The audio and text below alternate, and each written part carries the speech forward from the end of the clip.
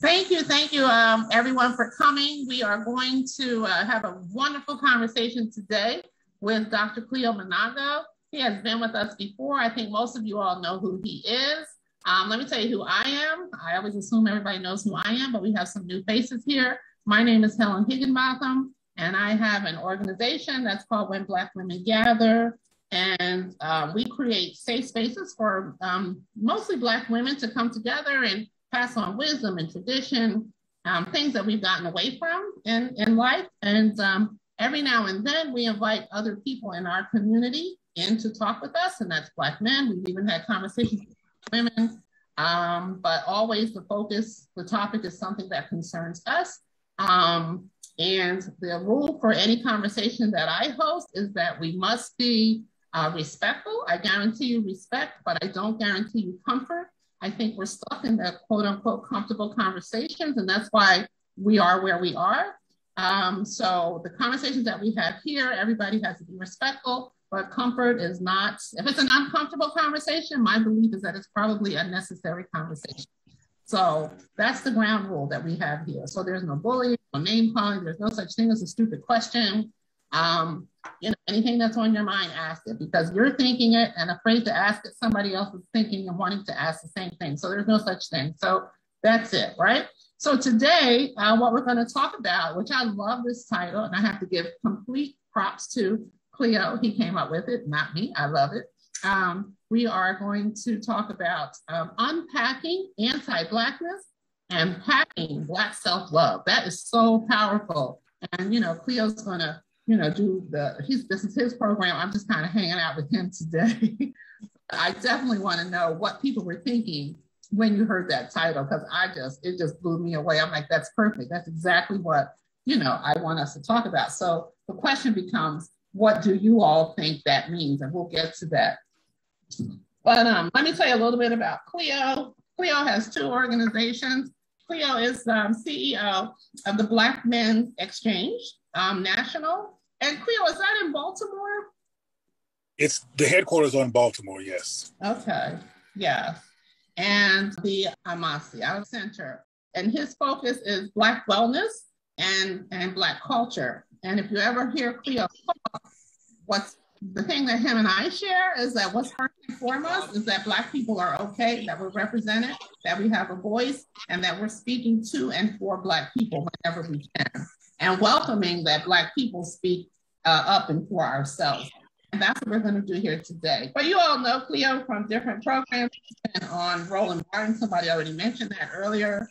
I know I used to wake up with him in the morning. They had it on TV One, and now they have the Roland Martin Unfiltered. He's been on TV One, Fox News, CNN, ABC, NBC, CBS, and he is, um, like I said, his his focus is Black people. So that's what we're going to talk about today. So Cleo, yes. I ask you what where you got that title from, or should we start out just by asking people what they thought the title meant and how it brought them here? Well, that always intrigues what me. So before I try what was implied or what was intended, I like to find out from people here what the title meant for them or what did it what did it spark in the people that are here if you if you want to just speak up for right now, we can do that. If you want to raise your hand, that we can call on you. But um, or I can call out people. uh, excuse me. My name is uh, Ken Carter, and I've, this is my first year. I'm in New Jersey. I was invited by uh, Dr. Linda uh, McDonald Carter. Right. And um, I was kind of excited to look at that title and, and respond to it because I too am interested in it, and I've been doing some research, and and uh, I actually have an article that was uh, put out by the American Association, uh, the American Psychology Association. It was an announcement in uh, the 29th of October, 2021. It was a national apology to uh, Black and Brown people for the fact that uh, all of these years, way over 100 years, that uh, they have, and I'll read it here. It says, We apologize to people of color for the association's role in promoting, perpetuating, and failing to challenge racism, racial discrimination, and human hierarchy in the United States. The association failed in its role leading the, dis the discipline of psychology, was complicit in contributing to systemic inequalities and hurt many through racism, racial discrimination, and the degeneration of people of color. This- so, so in a nutshell, Mr. Carter, we're just trying to get a quick answer. In a nutshell, your perception of the title said what? Well, it, what it said to me that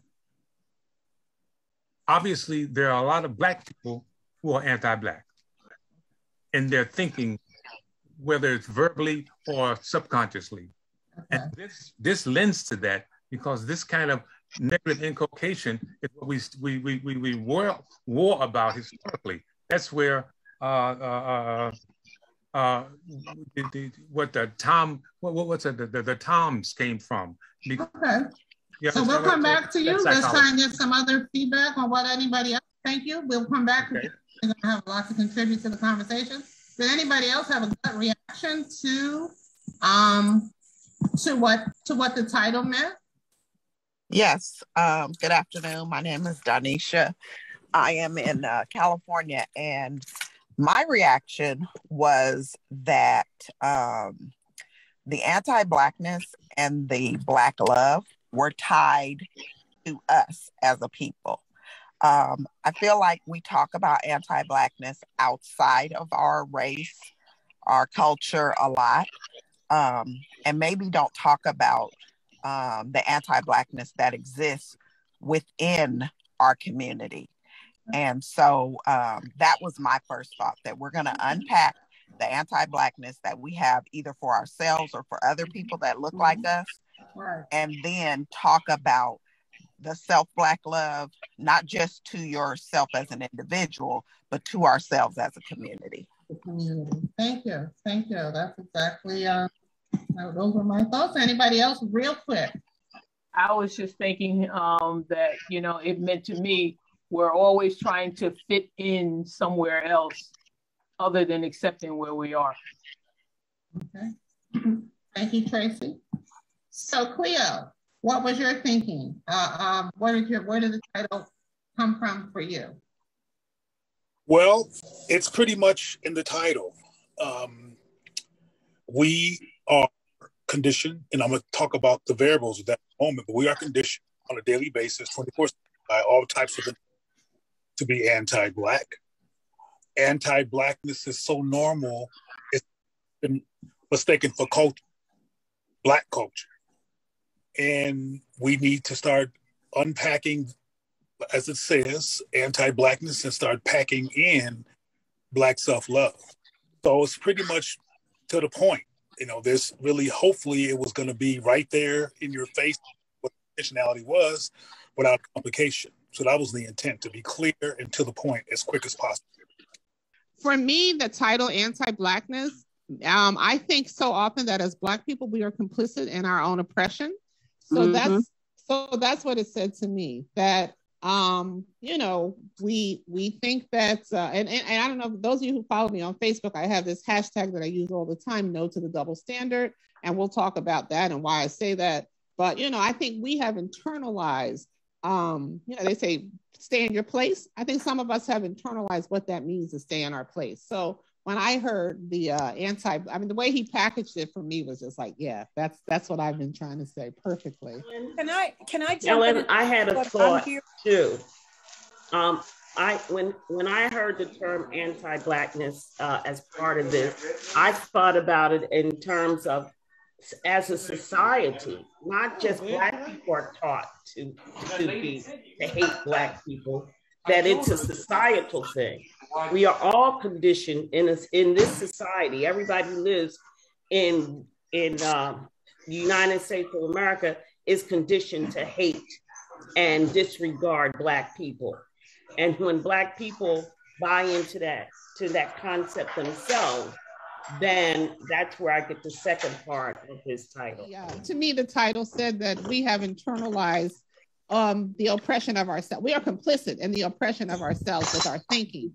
And because time is limited and there's a lot to talk about, I also request will request that people are brief. And I want to reiterate, because I'm not sure it came through when I was breaking up, that it's all right to disagree with me. It's all right to challenge me, but you have to be able to do it.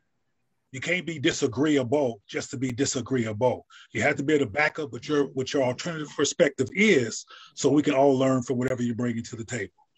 So I hope that's cool with everybody, and I'm ready to get started if that's fine. Okay. Before you start, can I say one thing? I hope you got you and Helen get back to Ken Carter because one thing I didn't think about the title much until Helen asked for what about what we thought of the title. But I'm really, really disturbed because as I what I think I heard Ken Carter saying is that he got a letter addressed to the Black Psychological Association, mm-hmm. and now I'm thinking about all the harm implicit in what the Black Psychological Association did to Black people as it worked with Black people for however many years it's been in existence. So at some point, if you guys can get back to that too and address that, because I'm that has really broad implications for us and unpacking and getting to self love. Thank you. That's it. Sure, sure. And I'll say now, because of time, that all systems all ologies, whether sociology, psychology, etc., are all built inside of a white supremacist paradigm. Don't forget religion. Just and religiosity, if you will. Um, and even language and linguistics, which I'm going to talk about. The whole thing was built on top of the mythology of white people being supreme and everybody else, especially us, being inferior. So, of course, the um, paradigm of psychology, like all the rest of them, are going to not be helpful to us because what's helpful to us are systems that are designed specifically with the intentionality of waking us up from the anti-black trance, making us critical thinkers to look at this world through a, this society through a critical eye, and to intentionally make sure we're making decisions that are firm or advance black people. So um, that's what what we should be doing in any paradigm that we're involved in should be doing that. If it's not doing that, we have a problem. For example, most higher learning institutions, including Yale and even some HBCUs, use a traditional academic framework for people to master to graduate. But often that system does have nothing to do with the affirmation of Black people, or if it's if it's an option at all, it's usually an elective, like swimming in Black history. You can swim or you can go to Black history. But what's mandatory is white supremacy 101. Mm-hmm. So we're going to talk about that in a moment. But before we get into that, I have some questions that I want some of you to answer. And I'm going to ask for a maximum facilitator. I think Helen or Chip, I don't know who's facilitating the discussion, but I need a, only a maximum of maybe three people to answer this. And I, and I need people to volunteer as soon as they can so we can get on with the conversation and be relatively brief. All right. The first question is What is racism? First three hands, put your hands up and I'll call on you, please. And and and Lisa, you guys and Nana, Nana, you're here. Barbara Ranson, go ahead. What's racism? Racism, it, racism is a systemic uh, cast, I would say castigation of one group by another group, which incorporates um, uh, power in order to effectuate a diminution of the, the group who is being affected by the racist behavior. Thank you, Barbara. Okay. Two more, real Anyone quick. Anyone else? Uh, Linda, what's racism? You talking to me or somebody else? Are you, Professor? Oh man, you caught me off guard for a change. Oh, uh, oh it's an issue of power that's assigned to something that's an artificial construct. That we're, you know, the artificial construct is is based on um, individuals' color primarily, but it's artificial. It's a social construct to maintain people in certain categories. So that's my quick answer. Thank you. You only gave me 30 seconds. One more. One more. Narlene, what is racism? Very, very quickly, what is so? It? Yeah, racism is a pretty much a system of um, of power over one race of people, uh, oh, one race of people over another, and also race, race. And I'm piggybacking on what uh, Linda said. It's a it's a social contract. It's a social construct. It is not real. Um, so it is just um, using differences that visual differences that exist between human beings to discriminate against um, a certain group of people. And it is widespread. It is it is part of the fabric of society. It's everywhere um, pretty much um, in all institutions. Thank you my love. Thank you. All thank right. you Nora. all right. It's, it's important that we define certain phrases that because we hear them all the time and they're often, they're often misused. For example, the race the term racism is often misused. You might hear somebody white say somebody black is being racist. You might hear somebody black saying that somebody's black is being racist to white folks. And those people do not understand what the term means. The three sisters that defined it um, were very accurate in most cases, and I'll define it again. Racism is having the capacity to determine how people are affected economically, politically, socially, in every kind of way you can think of based on the construct of race. And in order to practice racism, you have to have power, systemic power. If you don't have systemic power, you can you cannot like somebody, you can discriminate, you can do what Helen says with this group, no white folks can come, but that's not racism. Racism would be somebody on Facebook saying, uh, I'm not going to allow this, or Zoom saying, I'm not going to allow this conversation to occur because I don't agree with it, and then shutting you down. That happens a lot on Facebook and a lot of the virtual places where Black people who are pro-Black or Black affirming are speaking. Some of them have literally been have been had their accounts shut down. That's systemic power, and is typically done based on keeping whiteness in place and removing any kind of challenge to whiteness. So I want to, when we use the word racism, I want to make sure that we know what's being said and that we don't make the mistake of thinking that it's a general term that anybody can practice. Uh, white folks are the primary project progenitors of racism and the creators of racism. And uh, some of us may know that race in it in and of itself is a construct. Mm-hmm there's really only one race. Now there's different ethnicities. There's people from different regions. There's but there's no such thing as anything but one race. And white people created the race construct with the purpose of putting themselves on top of it as the superior human group among everybody else. So are we clear? Yes. Okay. We we are clear. Thank you. Okay. The second question, and I want people to work really hard on being brief on this one because it's not talked about that much. So it's one of those things that can really start a tangent, but, but do your best here. What is white supremacy myth? What does that mean?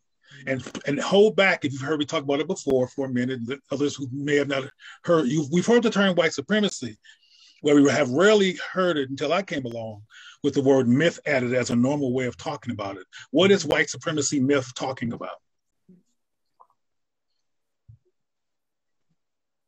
Chandra, I see your hand. Chandra? Um, yeah, so I'm just going to say it kind of goes back to what you just said when, because there's only one race, and when whites created the hierarchy, they put white, the white race as supreme. So when I think of white supremacy, I think of white supremacy myth. Oh. The phrase is what is meant by white supremacy myth? Oh, I'm sorry, I missed. I'm not for sure. What I mean, the myth that white supremacy is, if it's a myth. Okay. Sorry. Thank you, Shannon. No problem. No, it's all good. It's all good. Um, Pierre, I see your hand. Uh, yes, I was going to say the white supremacy myth is is definitely just capitalism. It's it's the way you know the world is attempting to make us believe it needs to work, but it doesn't need to work that way. Thank you, Peter. Okay. All right. Lenny, well, we have one more. La- last one, Lenny. Very quickly, Lenny, please. Thank you. I was going to say white supremacy myth says that the white race, as as defined by them, is superior to all other races and therefore deserving of special privileges and rights because of their membership in that white so-called race. Thank you, Lenny. Phyllis Ellington, who didn't speak but put a message in the chat, has basically broken it down very clearly as well. The myth is that white the white race is superior to other races. That's a myth. Mm-hmm. And I add the word myth. Thank you for that, Phyllis. I add the and thank and thank you all. I add the word myth because when we keep saying white supremacy, see what we don't often realize is that we have an unconscious mind and a conscious mind. Mm-hmm. Right now, while you're listening to me, you are in your conscious mind to the extent that you can do it. But your unconscious mind is working overtime because you've been trained to be schizophrenic. Mm-hmm. You, you've been trained to hear, for example, I'm gonna give you a question that I want people, new people, to respond to if possible. What's the opposite of pro-black?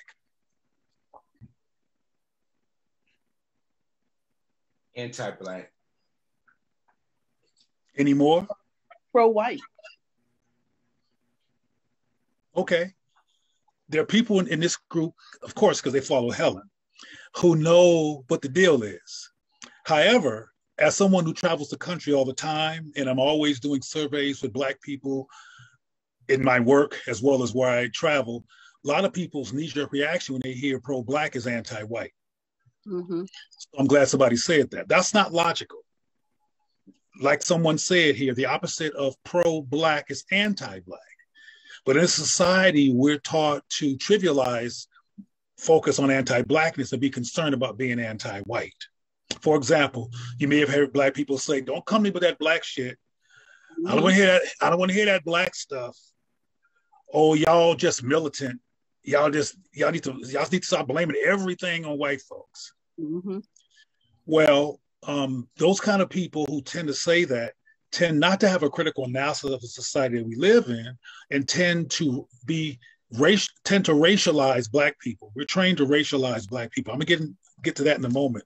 But I want to talk about white supremacy myth again to say that it is a myth that they're supreme.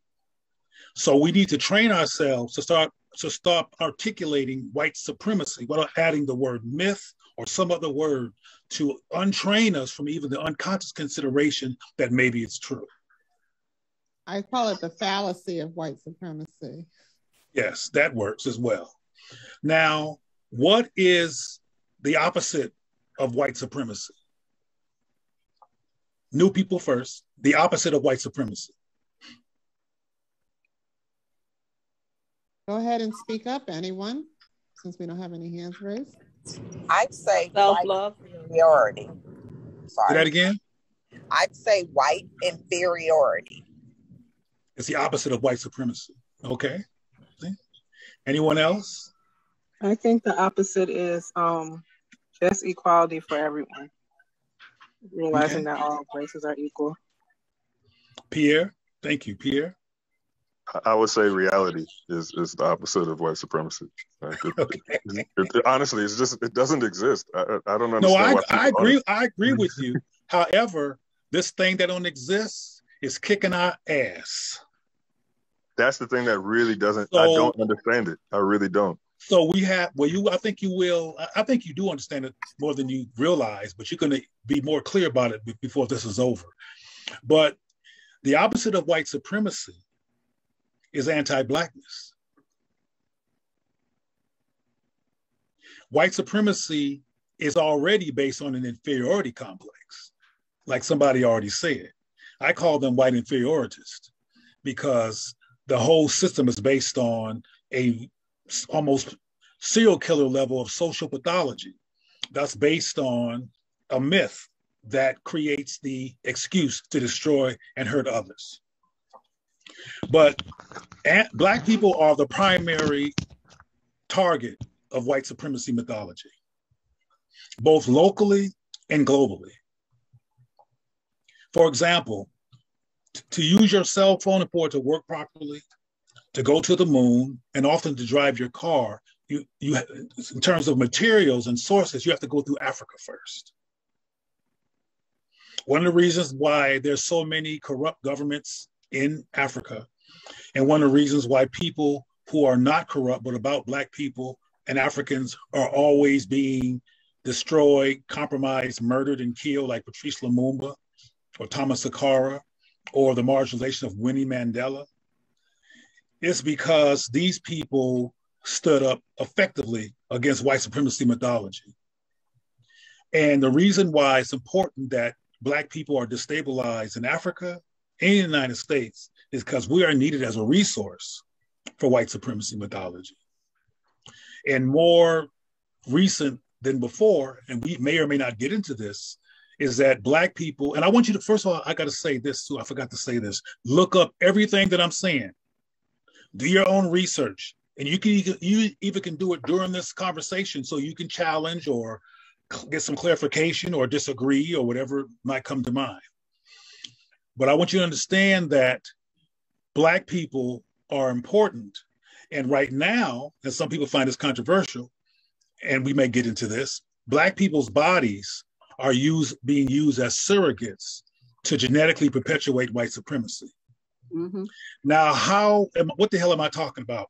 Somebody tell me what the hell I'm talking about when I say that black bodies are being used as surrogates to genetically perpetuate white supremacy. What am I talking about? I would, um, if it's okay, I would say that one of the ways, an example of that would be charter schools and how they're only in, you know, whoever controls your children's minds controls your culture, your economy, and your community. So that's an example to me because it'll be perpetuated for generations. And I've seen the impact for the last 40 since charter schools came into effect. I hear you. Anyone else before I before I share what Almatu just said? Well, I think that um, it lends itself to all of the uh, body parts that the, the whites are using to perpetuate their own life sustainability. Moreover, yes. they're, they're, taking our, our genes, they're taking those genes and, and, and implanting them in people who got money and discard us. Right. Now, now I have some, I agree with you, and I have something I want to strongly suggest, which can be difficult when your mind, body, and soul is trapped in a white supremacy mythology paradigm. We're not going to focus, except where it's contextually necessary, on white folks. We're not going to talk about how evil they are, because that's redundant. They have been redundantly evil and anti-black and destructive to us all of our experience here. That's a redundant phenomenon. Even the attacks on David Chappelle recently are steeped in white survival agendas and anti-blackness and an agenda to silence black voices particularly male voices but not only male voices. So i want to make sure that we don't get obsessed with how horrible they are not unless it's contextually important to where we're going in our conversation. I want us to look at we're going to unpack black anti-blackness and start packing ourselves with black love considerations but I also want to make sure we're clear on that Black people are the most attacked people in the modern world. And I want to also emphasize that we have power. We have the capacity to deflect and resist all of this, but not without unity. And one of the reasons why there's a perpetual attack on, for example, during an election, instead of calling on Dr. Tommy Curry or Julianne Malveaux or myself to give a political analysis of Joe Biden or to, to address Joe Biden, they'll get B, B, whatever her last name. What's her name? B, B something. B, what's her no, no. Somebody tell me what her name. I forgot it's B something. Whoever watches, I don't watch any of that stuff. I feel like she's she's she's a rapper and she she um Cardi B. That's Cardi it. B. That's it. Oh. Cardi B. Oh. Right. we, we, we, Cardi B, as opposed to a black political scientist or social scientist, is who they'll choose to, to speak to them. You know, when whites, Asians, and other people are being interviewed, they don't get a singer. They go get somebody who actually can break down issues socially and politically. But they get Lil Wayne for us. Mm-hmm. And then we get mad and we start talking about Little Wayne real bad, or start talking about who I call Obama, who, y'all call Kamala Harris. but I call her Obama, and I'll get to that in a moment. Y'all, y'all get mad at these people, but they're decoys. They're just glad to be in the number and glad to be appointed, glad to make money, glad to be seen, glad to be relevant. They may or may not be aware of how they're being used. But we get mad at them instead of the puppeteer. We start calling, we hear the word coon more than we hear victim of white supremacy. We, we hear people calling them bed wenches instead of very, very profoundly impacted human being of African descent who has been subject to the point of great control by white supremacist systems. And that's how we have to start start looking. We have to stop re-traumatizing black people and rename calling black people, particularly in the presence of black children. We have to stop doing that. Anyway, I just want to be clear on a systemic basis why white supremacy mythology is a problem for us in particular. I'll close this tangent with, with bringing another phenomena hmm. that we know about. Let me jump real quick. Yeah, I'm just sure. somebody I was talking to somebody earlier today, and he made such a wonderful point. I hope he's on this call. He should be.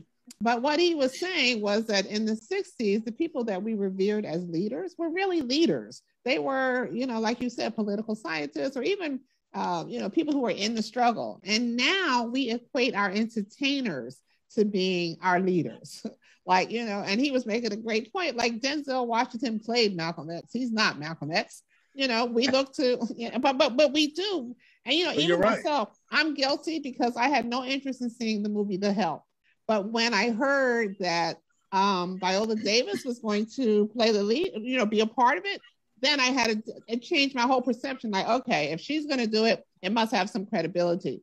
At the end of the day, these people are actors, and she actually regrets playing that role at this point.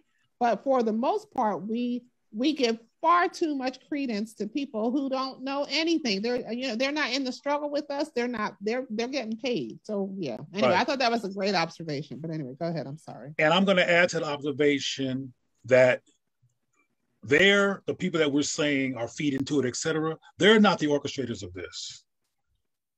You know, Little Wayne probably was at home sleep. And they called and said, Could you come on CNN and give us your, your point of view? Because they knew it was going to be ignorant. So they called him. These people who are our leaders, we're not choosing them. There are some wonderful people in our communities that I know of who are social scientists, who are leaders, who are articulate and brilliant, who can break things down in ways that'll be transformative and transbreaking for Black people, but they get no press. White people choose who we call our leaders. There's a reason why our leaders are Reverend Al Sharpton, Reverend Martin Luther King, Reverend Jesse Jackson, Minister Louis Farrakhan, Reverend this, Reverend that, because because Christianity is in and of itself a white supremacist trance making phenomena that destabilizes black common sense and black spiritual clarity.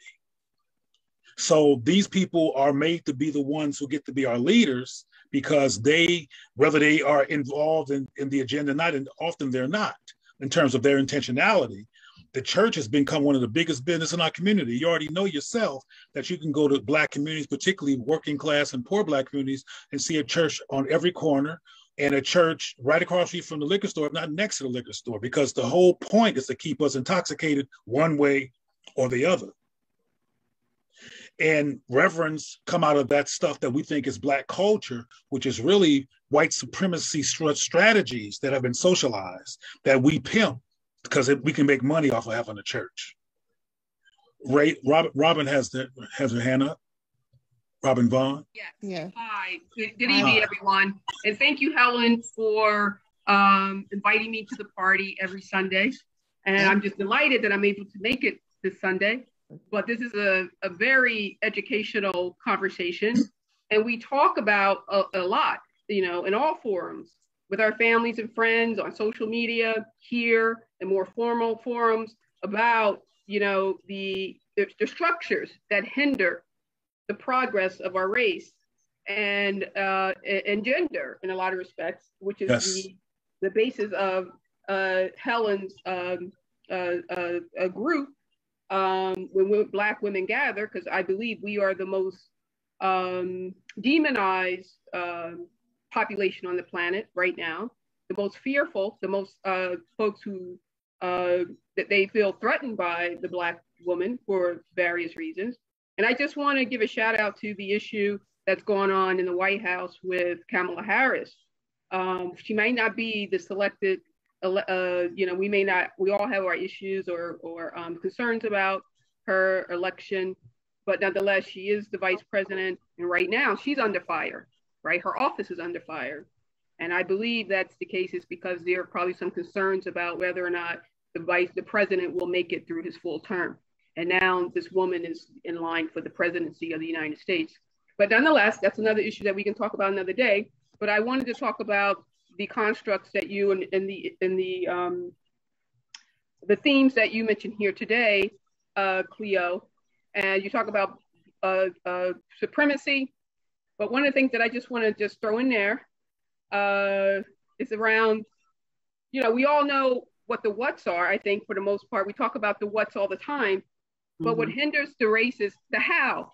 How do we how do we navigate this terrain? Because this terrain is not going away. The mm-hmm. oppressor is alive and strong and well, and power is never. Malcolm X. Everybody has told us. No one, even uh, who was it? The, the, the uh, um, Frederick Douglass, I believe. Mm-hmm. Power is not going. You know, folks aren't going to give away power. They're not going to relinquish it. You're going to have to take it away. Okay. So how Good do you point. take it away? How, what, what? So, so my point, my point is, is that we have to start talking about the how. How do we overcome? How do we navigate? How do we break through um, or live with or um, or um, uh, persevere in, in the light of of, of, of, um, of supremacy? But I think with supremacy, you got to talk about uh, imperialism, uh, white uh, American imperialism, capitalism, those mm-hmm. are the the things that you're really fighting. Is mm-hmm. capitalism and and and the the who gets access to the money, who gets access to the political system, who gets access to the educational system, who gets access to the cultural systems in which those those systems prevail. Okay. We we are locked out of every single system. We are. So how do we get access okay. to them? That's all I'm asking. Sure. How do we get access? Okay. Thank you, Miss Robin. You're All welcome. right. I always I'm always long-winded. Sorry. That's okay. Go ahead. First of all, Leah. first of all, um, I know I don't. I based on the comments I get, I don't. I don't look that old as I am, but I'm. A, I'm. I'm. I'm. I am an old guy. Been on this planet a long time, way over a half century. I've been hearing black people complain about racism all of my life. Some complain about it beautifully, poetically, articulately, um, religiously, blah, blah, blah, blah, blah. And what I have not seen, Robin, enough is, well, let me let me preface my comment by saying this. The accumulative effect of going in, going on 400 years of a lack of solution has had psychological effect over generations on Black people. And because we have not done any fundamental resolution of what's what's in a way of black progress and, and progressive black behavior and been running around with Black Lives Matter signs, doing all kinds of other stuff, we have not really gone from plan A to plan B or plan C. We're still at plan A. Mm. So how doesn't make a difference. It makes a difference. I want to be real clear. So let me let me let me preface my comments with how it makes a difference. But telling people what to do won't work if they can't hear you. Mm-hmm. And one of the reasons why we can't hear each other, my perspective is this: Black people are in are in a trance. Mm-hmm. Black people are, are in a intergenerational white supremacy consequential trauma trance. Mm-hmm. Even though there's other people in this, in this society, including Native people, who have gone through whatever they've gone through, they tend to be more resilient. And this to be clearly, I'm not talking about physical survival. I'm talking about cultural power. Mm-hmm. We don't have culture. We now I want to also say before I finish that sentence that we can resolve all of this, and we have it all. All of it. All of it is inside of us. But right now, we're not fully present. We don't know an insult when we hear one. Mm-hmm. We don't know anti-black behavior when we see it, which is why we're participants. For example, there was a song on the radio that you've all heard said, I'm living my best life. I ain't going back and forth with those N-words. There is no equivalent song in any other group. You're not going to hear Asians, Latinos, Jews, white gays, anybody say I ain't going, I'm not going, I'm living my best. I'm not, I'm not going back for what you faggots, you kikes, you chinks, because they have a sense of cultural clarity that as a domesticated people has been taken from us by displacement. We even don't, we don't even know our, who our, what our real names are. They, they, every other group in this country knows who their real name are. So they're not in a in a trance that's as deep as ours. So Robin, if I give excellent advice to somebody in a trance, it's the equivalent of what Nancy Reagan did back when she said, "Say no to drugs." She said, "She said, don't do drugs." But she didn't deal with the social determinants that led these people to want to anesthetize and not and not feel anymore because they were in so much pain and the systemic white supremacy mythological horrors, including police brutality, unemployment, self-hate, anti-blackness, etc. They she didn't mention none of that. All she said was, "Y'all need to say no to drugs." Well, to become happy enough or content enough not to want to anesthetize, you have to feel good about who you are in your body. I spoke at a conference before where this woman got up and said, Why people keep letting themselves be homeless and let themselves be on drugs? And I asked her, I said, if you have to deal with racism every day, unresolved, do you want to be fully alert? Some people don't they, they don't want to be fully here because it's hurt, it hurts. So the how is important, but if we don't, if we're not fully present and we're anti-black, it's not going to make a difference that that we know anything intellectually. We have to be emotionally clear before our intellectual capacity on behalf of black people makes a difference. For example, mm-hmm. HBCUs in this country graduate most of the PhDs in this country when I, I, worked at a very powerful, well, not powerful, wrong word, a very well known HBCU in this country. And I was a consultant to the faculty for three years. And one of the professors who had been there for 30 years said, inspired by the conversations I had created with my work, he said, We create great students, we create lots of graduates, we create people that do really well academically, but we don't create Black soldiers. Mm. Now, that's what I'm saying. We're we're making people professionalize whiteness and master it to the PhD level and getting good jobs, etc. But in most cases, those jobs won't trickle down into the advancing of the collective of Black people. They become individual Americans because of the lack of cultural cohesion that other groups have compared to us. Helen? Can I? I just wanted to jump in there and say I was speaking with someone last week on this subject, another person who made a really good point um, he was saying that his family all went to HBCUs and he didn't. And one of the reasons he gave the, he says, it's all the same. He said, as long as your accreditation is coming from middle states or whoever, they're validating what your education will be. So whether you're at a black school, or white school, or whatever, at the end of the day, we're all getting the same education. So I push back on that a little bit because, you know, of course, there's some curriculum issues. But I do feel that at a, I'm a Howard graduate, so certainly at a black school, there, yeah, I got to throw that in there. There's a spin on it, right? I mean, I think that there is an awareness that comes, but even within those institutions, there is some complicity um, that goes with the white agenda, and and we're afraid of um, you know, the quote unquote black agenda. And like you said earlier, you're militant, you're angry, you're this, you're that. And you know, I think black people who uh, we have to be very careful. If white people find you, my my feeling is if we want, if white folks really want to see change, then stop choosing black people that make you feel warm and fuzzy. You need well, to choose people who push you a little bit past your right. comfort level. Otherwise, you're just they're just going to rubber stamp what you're already putting out there.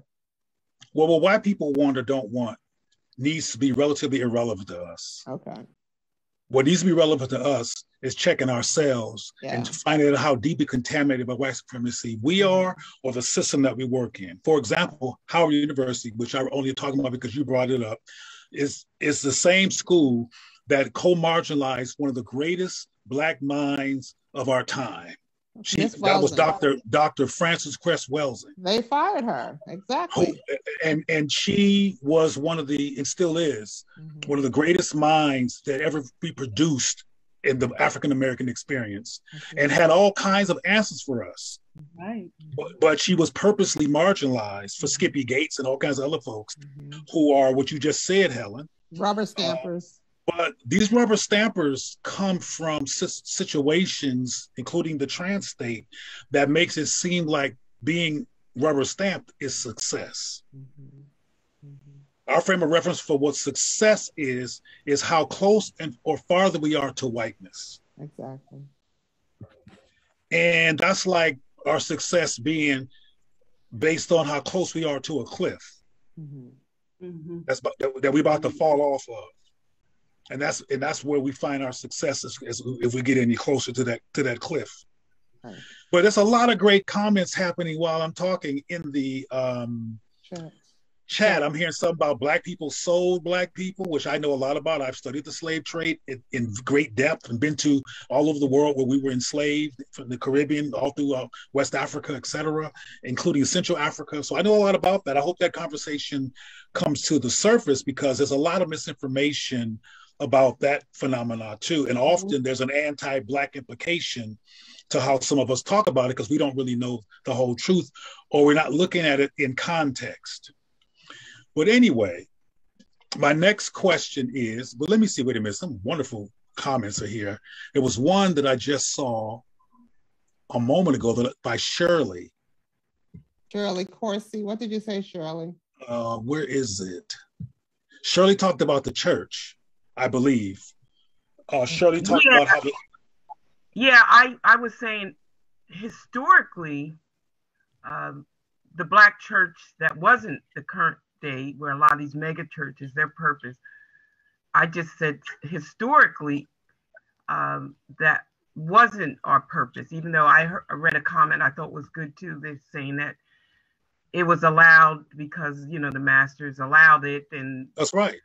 And so forth. But I still want to stand originally, historically, I still look at the black church as a beacon. That's just my opinion. I feel it was a beacon. We, that, if that's all they gave us, we did something with that. That was my point.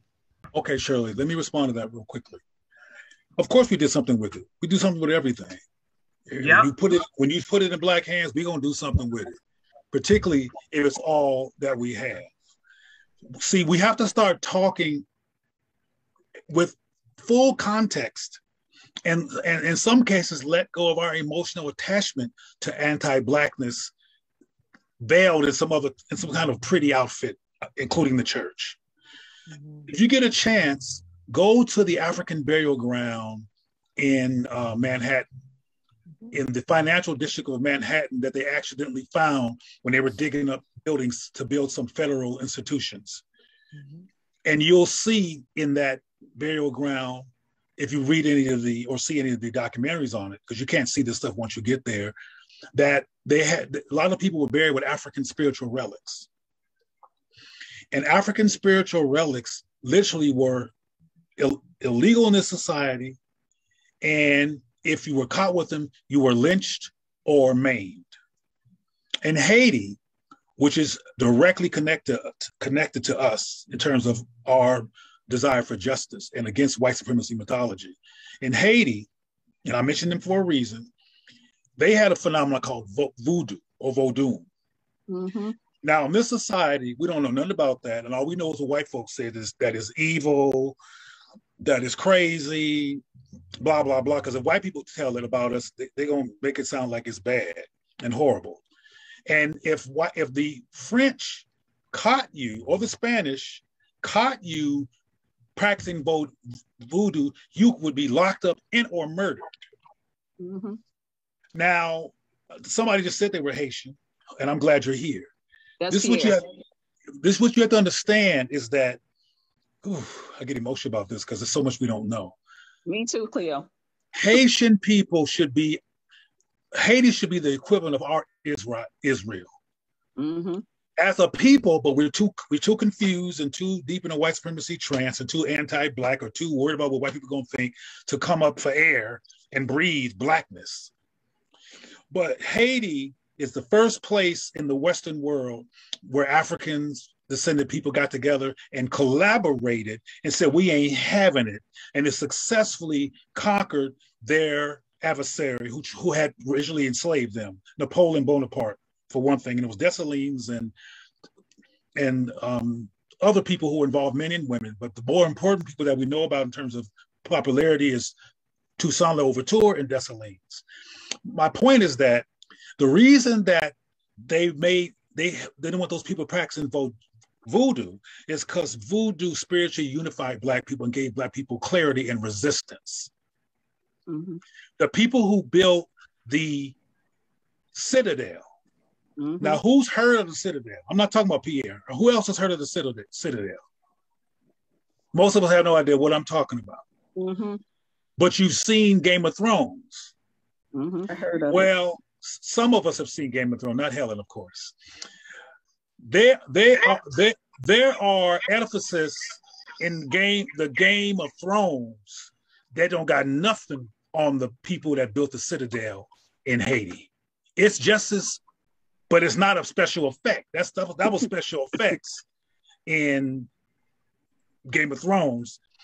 There is a fort in Haiti that's on the same scale as those mythical forms in Game of Thrones, built by Africans who practice voodoo. Um, Cleo, I'm sorry. If yes. I may, if I may add something. I, yeah, go ahead. And then I want to add something. Go ahead, Narlene, and then I'll add something. Let me say this first um, before you add. Hold on, hold on, because I let me. I know you want to talk. I'm gonna just say this.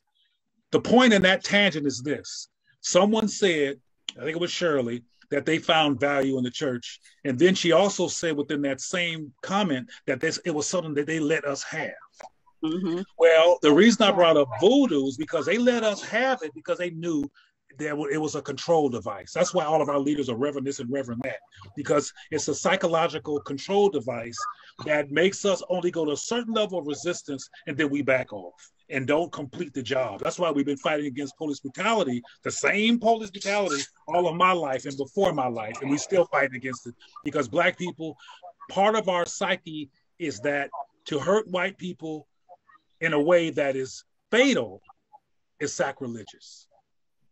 Narlene, okay. Narlene? Hello? Yes. Yeah. So this is what I wanted to add. I am also Haitian and I also was raised um, um, in the church, raised Baptist and all of that.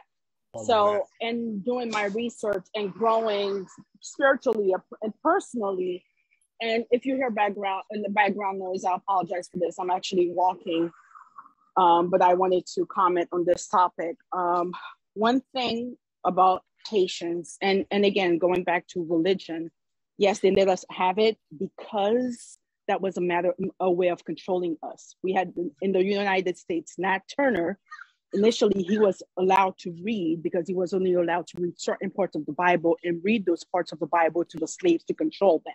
That's right. But when he discovered other parts of the Bible, because the bible at the end of the day it is not it, it, i mean i mean it, it's a book that has everything in it. It is not it is not a book without contradiction. It is filled with contradiction.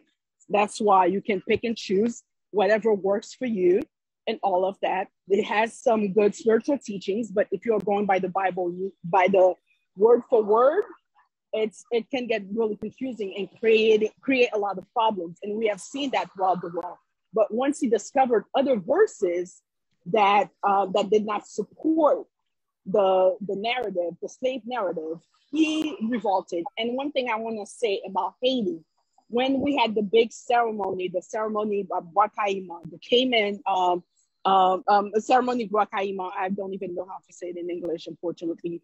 Um, the Cayman swamp and all of in that place.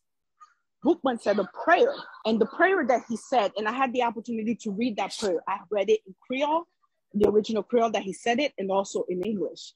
And that prayer was, uh, in a sense, said, God, God created the earth, God created the heavens, God, the God who gave us strength. You want us to do good, but the white man want us to do bad. He wants, and the white man wants us to suffer. Please give us strength in order to fight the white man. So to me, to me, it is very unfortunate that Africans, that black people who are the original people of the earth, were led to believe that they did not have any spirituality other than that what was brought to them by the white man. And that was taken actually from from from from a from a country in the Middle East. Did not originate in Europe. Did not originate in in um in, in France or Germany or anywhere, but rather in a country in the Middle East.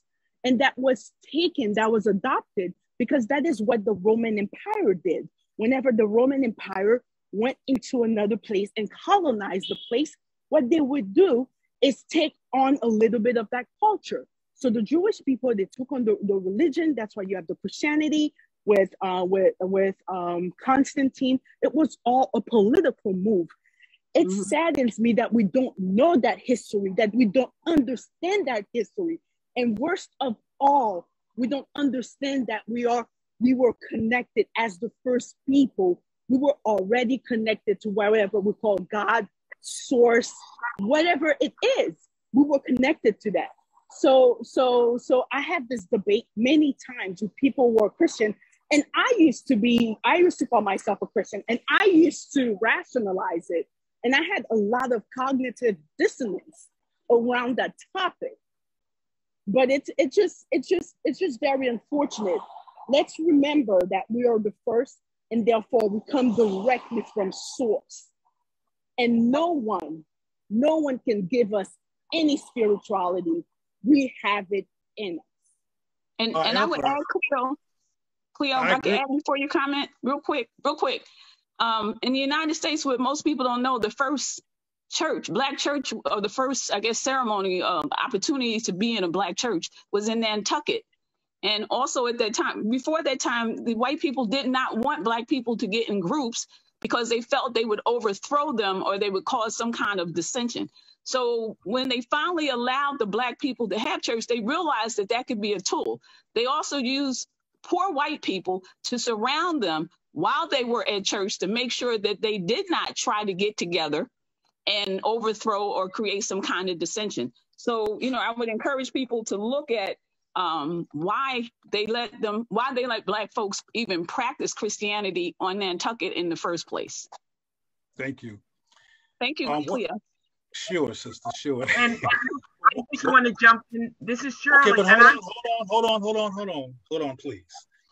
One of the things that I want us to do more than anything with our bandwidth is talk about Black people unlearning internalized white supremacy myth, not the redundancy of the horrors that white people still do, are going to always do, and are doing and have done. Some of that's going to be relevant in transition to contextualize why we have to take care of ourselves better. But I don't want this conversation to be about what they did. The, the, reason we're talking about the church is because someone brought, brought up the church in an affirming, an affirming way, and they mentioned that they look at the church as a beacon. And I just want people to understand that the church is a consequence of the removal of Black spirituality, which was a weapon of war against Black common sense, Black resistance. And that's just a fact. And I already said earlier before we got to this point that it's not a coincidence that instead of Black affirming people, behavioral scientists, politically brilliant people who can break things down being in our leadership, it's Reverend somebody. Even back in the day, they killed Mac- Malcolm first before they killed Martin because Malcolm's rhetoric was more dangerous to the white supremacy mythology crap that was in our head than Martin, who was a deep Christian.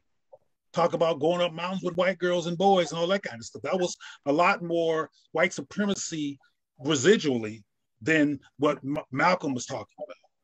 So people get upset about any kind of criticism of the church, but what people should do, even if they're upset with me, is is show me where I'm where I'm incorrect. Because half what I say, if not more, is not my opinion; it's a fact. And the reason I talked about the burial ground in Manhattan is because the artifacts that they found were living examples of by next to dead bodies of how they had to resist and what they prayed to when they were being destroyed. And we don't know nothing about those African artifacts because we have no, we have been displaced. Cleo, can I just close by saying, since it was a t- kind of topic you pulled out, I I'm not upset, and I'm a born again Christian. I've been through it, and but I'm a thinker now. I'm a thinker, and I think because of this topic you're bringing up, and because the Black Church historically and even today has a big, big, um, let's say, impact on us as a people. I welcome this conversation. I welcome what Linda just said and the the Haitian late American that I think because we bring up this topic, people like me and others, it's good. I think it's good that we challenge it, but I also think it's good that we don't throw the baby out with the tub or the water. I that's all my point is. I think I'm not upset. I think it's great, and I think we need more of it. So thank you. I, am loving it, and and it sounds to me that we need to do a whole conversation on religion, and uh, that will be another uh, interesting conversation. Um, but I'm all for it. Um, that's what we're here for to have the conversations that you know that people shy away from. We're here to have the conversation, and I'm just going to say, you know, I think the situation with us as a people and religion, and we're not going to talk a lot about. I hear you, um, Cleo. This is not what we're talking about, but I think that you know, for me, the situation is we have a, a, a crazy kind of relationship because where we kicked religion out, religion gave us. It, it, it was certainly put in place to to brainwash us, no question, and we stayed enslaved because we believed in slavery if you watch 12 Years a Slave, that poor woman, her life was worthless. And remember, she wants to die. She's begging Solomon to kill her because religion has taught her that if she kills herself, she's going to go to hell.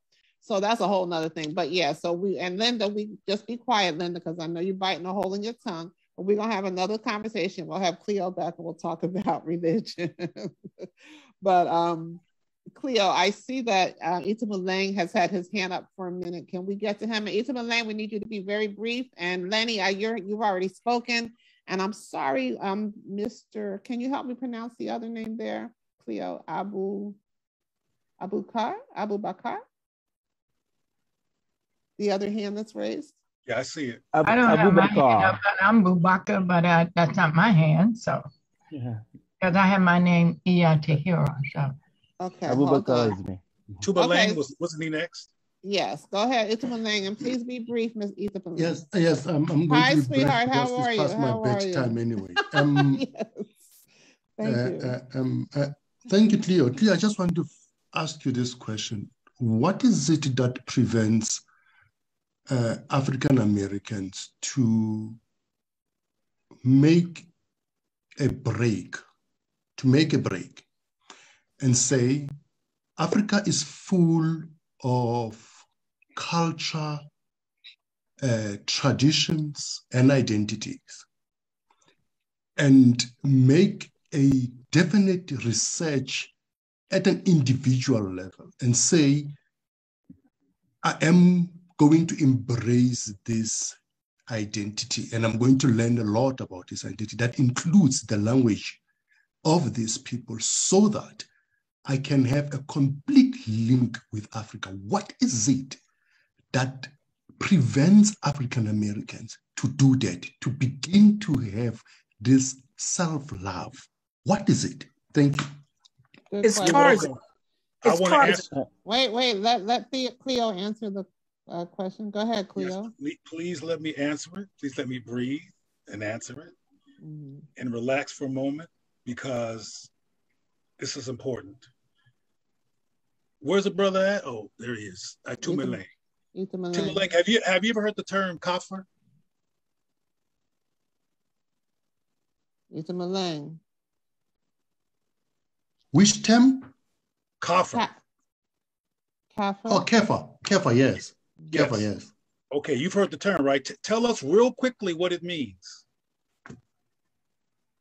Well, Kefa is a name that was used in South Africa um, during apartheid to denigrate uh, black people right. um, by by uh, basically is an equivalent to a nigger is an yes. equivalent to nigger exactly. non-believer uh, and uh, yeah basically yeah okay, if you know now, what the nigger means then you know what kafir right so now we didn't we, me and his brother did not rehearse this, so I, but but I know what's going on here, and I want you to hear this. All right, Tumaling, do you all in in in Azania call yourself kafirs as a normal practice? No. Black people, black people. No, African. we don't. No, we don't. It is an okay. anathema. It is an anathema. Okay. All right, now I'm gonna. I, I want you, you all to hear this because it's relevant. It even goes back to what the sister, what, my point when I talked to the sister earlier, who asked the how question, and yours is a how question too. The reason that Africans do not call themselves kafir, which is the equivalent of the word nigger, is because they have the cultural memory and the linguistic memory and practice still there that we don't have. They know in, an insult when they hear one. So, unlike African Americans, they don't call themselves kafirs at all. They know it's an insult. Well, he's still, Itumeleng is still connected to where he came from and has another frame of reference outside of pure white supremacy in terms of his worldview. People of African descent in the United States were displaced and taken out of that, and we don't know who we are. And we live in an anti Black society, and the official language is English, and the official attitude is anti Black. And everybody in this society, including Black people, speak English and speak anti Black. And part of anti-black is being ad, is being anti-African. Part of sustaining anti-black behavior is the word nigger, which we hear more than we have lunch. We hear it every day, all day. There's another term that you've all heard that where you've heard when you when you're angry that niggas ain't shit. Who's heard that before? Raise your hand if you heard that before. Everybody's heard that before. Well, there is no equivalent concept in Africa or any place else where anybody else lives. That's that is a post-slavery, unresolved woundedness of the black soul that is articulated linguistically. You ain't even shit. You're worse than shit. And when we get angry at somebody or at each other, that white supremacist notion will seep through our consciousness. But in Azania, which who you all know of in South Africa, the word kafir does not seep through their consciousness because they have rejected it. Mm-hmm. Because they have the cultural clarity and the li- linguistic memory and usage to say, "Oh no, I'm not, I'm not, I'm not having that." Mm-hmm. So, in closing, in terms of your question, the reason we don't value what you just described in Tumalang is because we look at Africa as inferior, as um, something that is out of touch, uh, not modern, antiquated, and full of problems. But what we don't realize is, is that the majority of the problems that it's full of, white people did it. Right. Mm. And white people keep doing it because they want to control us and control our resources. So instead of saying niggas ain't shit, a word I don't use, I'm just saying to make my point, we should be saying white supremacy ain't shit. Mm-hmm. Right. That's what we should yes. be saying. Yes. When, we, when, when we see a, a Don Lemon or Obama, who y'all call Kamala, or a black person tripping, we should go, white supremacy, look, look, look, look what it does. Instead right. of beating up Kamala, Don, and a whole list of people who are a- acting anti-blackness out because they were selected and white people knew they could control them because they knew that they were traumatized into submission. Mm. They're controlling this agenda. They're controlling this, but we're mad at black people. I was on a, I was on a talk show the other day that was in response to the, um, the, the David Chappelle thing, and this person who calls themselves trans said, "I'm so tired of black men blaming uh, white supremacy and not taking responsibility." Well, that's a that, that's a great example of inadvertent anti-blackness mm-hmm. because we don't even want to look at cause and effect. We don't even want to look at cause and effect. We want to just be mad at black people at all costs, which is a symptom of enslavement and generational unresolved trauma. And the word, the N word, bolsters and perpetuates the implication that we ain't even human, we're a race. Sit your black ass down. You black MF. Uh, that's all normal in the black culture, and it's all a direct consequence of of, of, of racism.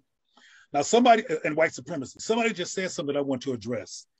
I think it was Shirley who said that I'm disrespecting um, Kamala.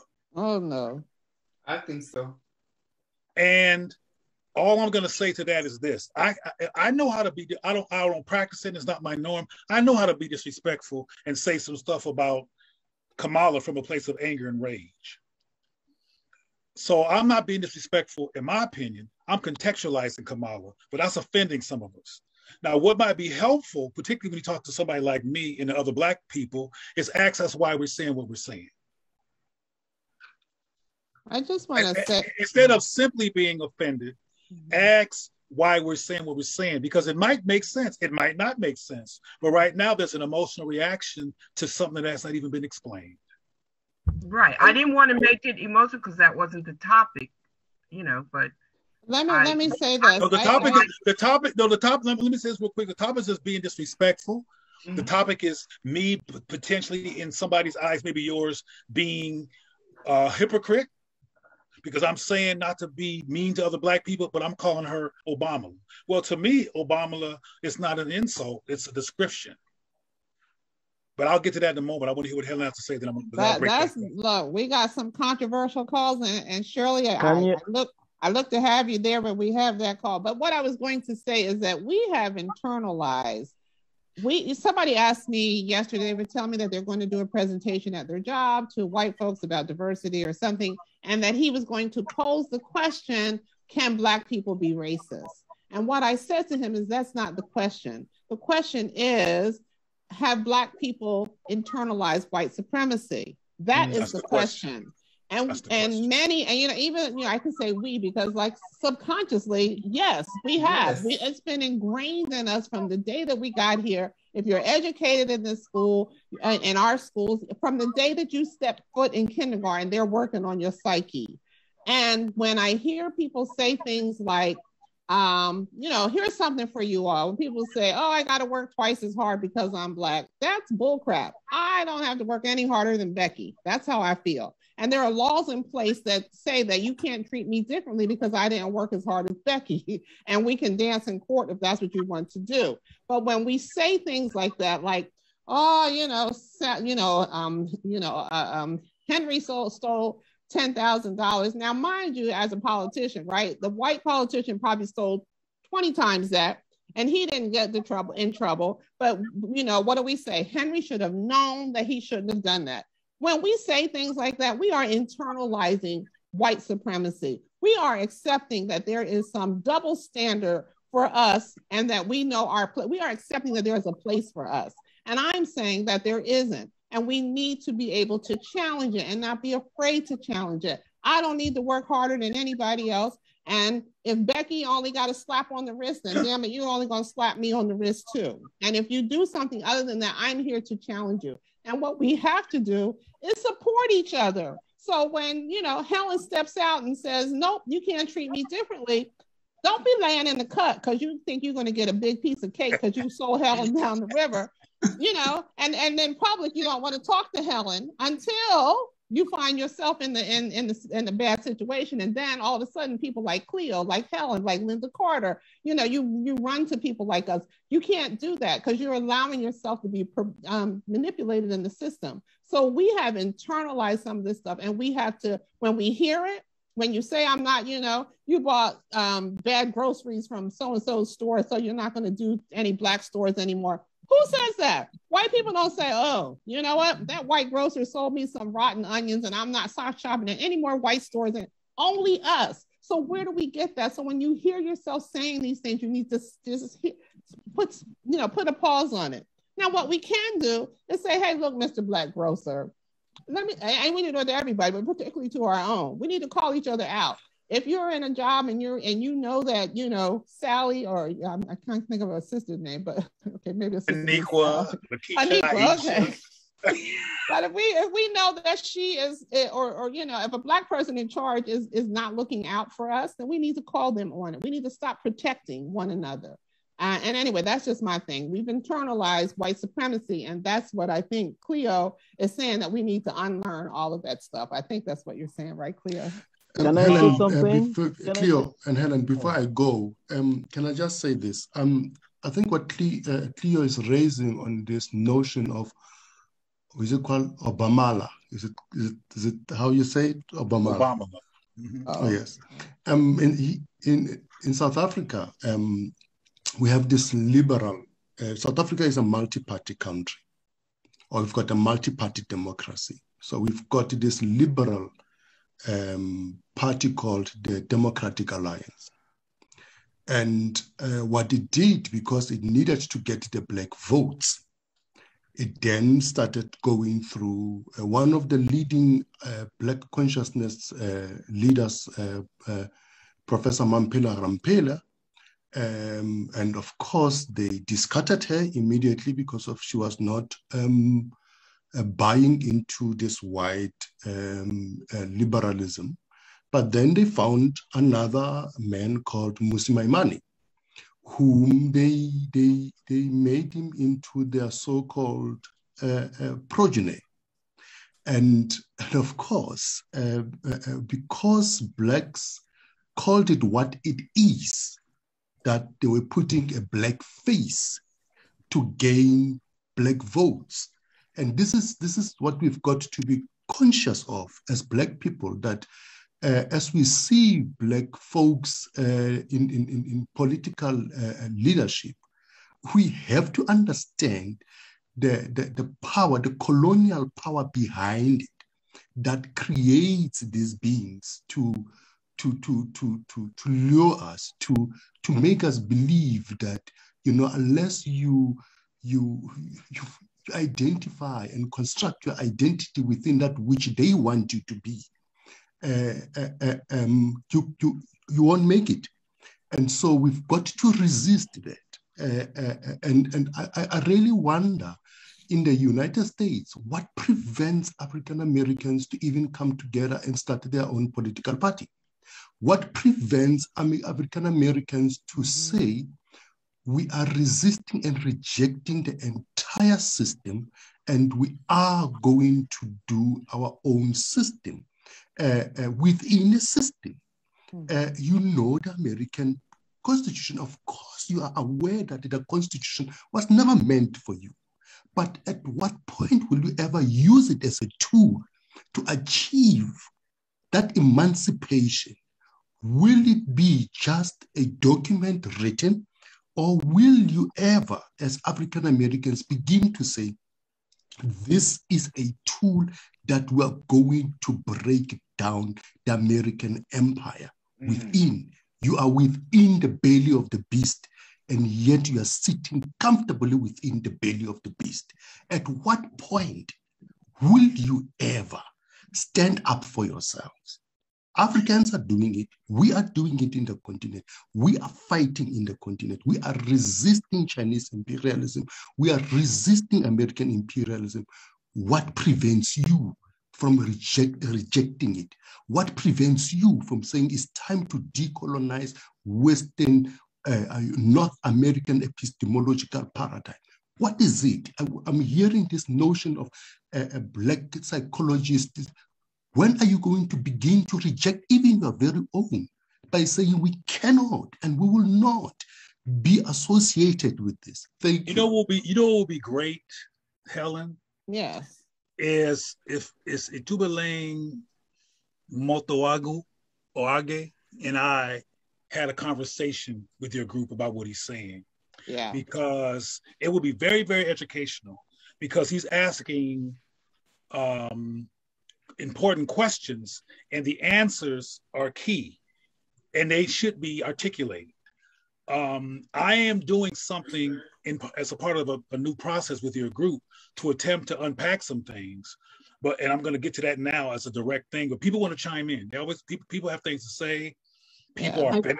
Yes. People are offended. I just are, wanted to say people are offended by some things. People are interrupting me. and all kinds of and all kinds of things. And it's like to get to what this brothers have finished talking about, which is which is fundamentally necessary for us to, to be free of this stuff, we have to understand why we have to understand the answers to his questions. And we don't.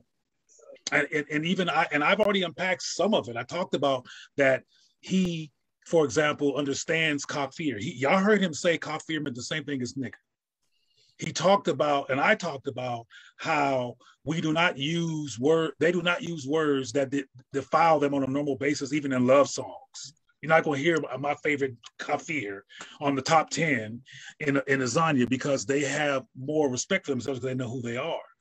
We have we have some um, resurrection work to do in terms of black self-concept there's some things, some work that we have to do that I, that I'm that I'm prepared to talk about, but it can't get done until we start doing the trance breaking work. Uh, our whole brain and and, and our whole impulse and, and way of looking at the world is wrapped in poison, in a cloaked in a white supremacy paradigm. We have to step out of that paradigm to even consider the sensible things that Itumeleng is talking about. He keeps asking why the whys are very, very important. And often we don't know the whys. Matter of fact, we perpetuate unconsciously a lot of things. And for example, um, when, when Helen said something, and even um, and Tuma Lang said something, he said that we were comfortable. You didn't say that, Helen. I'll get to what you said in a moment, but he said that we were comfortable. So we are. I, I work. I work in healthcare. We ain't comfortable. Hmm we're not comfortable. We are familiar. And we're getting familiarity and comfort mixed up. We're not are we, we're not are we compla- are we complacent? We're in a trance, which is different from complacent. Okay. We're we're uh, when you're in a trance, you're not even fully embodied. You're not even fully present. We're on we're on automatic pilot on behalf of white supremacy mythology, not on behalf of Black power. Mm-hmm. Not because we're deficient, not because we're stupid, but all we know is white supremacy mythology. In February, when Black history comes up, we're not going to learn about Akhenaten and or Hatshepsut. We're going to learn about Harriet Tubman and a whole bunch of people that was running for white folks. In, as enslaved people in the United States of America. We don't even know where we came from, the, the, the profound history that we're connected to. We, we think we're just niggas. Sit your black ass down. And I'm telling you, this is a problem. When I worked with children at the Gateways Mental Health Center in Los Angeles for some years, I worked with black children who had been molested or abused by adults. That's who that who was on that was who was on the wing that I worked on. Those kids were Asian, those kids were Latino, those kids was white, those kids were Jewish. The only children that saw their abuse as something that N-words do and who racialized their abuse was the black children. Now, all the children are going through the same thing. Uh, I, I might have said this already on your show, Helen, but I'm going to say it again so people can see what I'm saying, what we have to unlearn on a fundamental basis. I talked about maybe that I was speaking at a university and I asked the white folks to stand up, and you kind of spoke to some of this already, Helen, uh, in terms of what you were saying. I asked the white folks to stand up, and I'm gonna make this story real quick to get to the point. They stood up, and I asked them, "Have you been to Bank of America? Have you been to Walmart? Have you been to Kinko's? A bunch of white businesses and had bad service?" And they said yes. I said, "Did you say I'm not going to those honkies ever again? Did you say these crackers can't never get it right? Did you say white people just can't get it together and thought about and said, I'm never going back again? And they looked at me like I was like, really? I mean, are you asking us that? And I'm and I sit there calmly like, yeah, and I'm waiting for you to answer. Of course not. Then I had the black people stand up. And they were scared. They were these were faculty members of a of a university, an Ivy League university, and they thought I was going to shame them because they know what we do to each other. And I said, after I asked him to get up, I said, I gently said, sit down. I'm not here to shame you, but you know what I'm talking about. And they said, yeah. I said, look at what it looks like for people to never get mad enough at their people to dehumanize themselves and their people, period. They could have been a victim of a white serial killer. They still not gonna say what white folks do. And, even even white women who have been battered by or disappointed by white men, and there's millions of them. They don't say white men are messed up. I don't like white men. They don't racialize themselves. We have been racialized and we racialize ourselves. That's why we have black asses to sit down and and you black MF, blah blah blah, because we we got and, and we can't do what the sister who talked about how we can't do what Atuba what Atuba Lang suggested until we come out of the white supremacy trauma trance. That's why I went back to Nancy Reagan and said she said say no to drugs. It had no impact because she didn't talk about why people take drugs. Something else that Helen said a moment ago about people saying you got to be twice as good. She's saying I don't got to be twice as good as Becky F. You know, there's laws that say I don't got to do that, but it's a part about this that's important. This gets to the psychological part in the trans state. Mm-hmm. There are black parents still lovingly saying to their children, "But you got to be twice as good as a white man." Mm-hmm. And what they don't realize that they're doing is implying that they're twice as bad. Mm-hmm. So they have to compensate for that by being twice as good. What they should say is you have to work very hard because there's a corrupt system out there of white supremacy insanity that's wrong. Not you, baby. You're not what's wrong. It's that it's a system out here that you can actually get past and navigate through and do well. But they're gonna there's gonna people gonna be challenging you because they have a problem. We don't tell that part to our children. They don't hear that they have a problem part. They think, along with hearing N-word all day and, and all that stuff, that we're the problem. And then you have them bringing in uh, the, the, the dude with the teeth and the, and the locks. I just mentioned his name earlier, the, the, the so-called rapper. Um, I said his name earlier as an example, who they call Lil Wayne. Little Wayne. Little Wayne. Then we hear Little Wayne saying, "Racist, we ain't no racism is not an issue." And then our whole capacity to have common sense, which is why they put these people on, you know, on TV, is interrupted by these confusing messages and we don't speak to our children to get them prepared mm-hmm. to live in a society and to thrive. One more example, because I know people got their hands up, but I say this because this is part of the answer. And I might have said this on the show before, and I see that battle fatigue. So, but the, the battle fatigue can be changed in a minute if people are motivated to just do the right thing. You've been tired before, and somebody said the right thing, and you was ready to go party because it was emotional. That so-called fatigue. But um, I told, I might have told you before about after Dylann Roof murdered those people, shot 12 people. We forget that it was 12 people that got shot in Maine and nine died. To make a long story short, I was traveling across the country talking to mental health professionals, and I was at a conference where there were thousands of mental health professionals, people who had been trained to, to work on mental health issues in terms of resolution.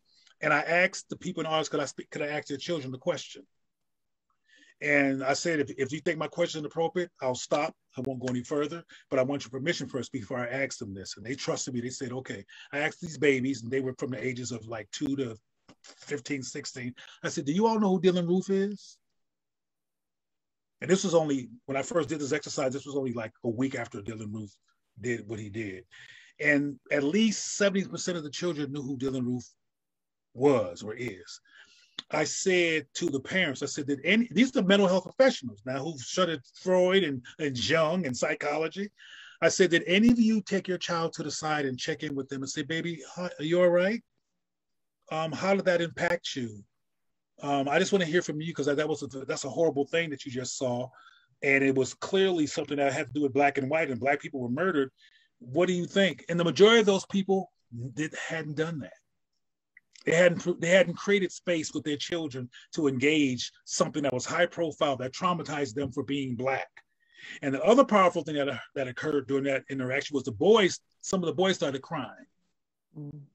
because they were sitting on unresolved, unarticulated trauma and told to be a man and be a boy, you know, don't cry and all that kind of stuff. So they were, they had, they were, they were internalizing all this stuff that they wound up in some cases taking out on other black people, including domestic violence and all kind of stuff that people do when they are a child and they grow up to an adult with unresolved rage. So we cannot do the how until on a macro level, we unlearn some norms that come out of the protection of whites. I can't tell you how many mothers, sometimes fathers, but usually mothers call me and say, my child was just experienced racism at her school and I don't know what to do. And I stay calm, which is one of, which is one of my strategies. Never good being emotional. Somebody already said we're too emotional, and we we're too emotional because we're too repressed and we're acting out a bunch of unrepressed, un, unresolved stuff. I, I said, um, why have why haven't you talked to her about these issues? Well, I don't want her to be I don't want her to be angry, so I haven't talked to her about racism. I said, okay, so what happened to her? Well, one of her classmates called her a nigga. I said, okay. And you haven't talked to her about the fact that that was a possibility on planet Earth and that this is a phenomenon that occurs in a society and taught her about her wealth and her value so she can look at that and go, they tripping instead of internalizing and come home crying to you. Why have you not discussed these issues with her? Because I don't want her to be angry. And I said, and this was the deep part of the conversation, angry at who?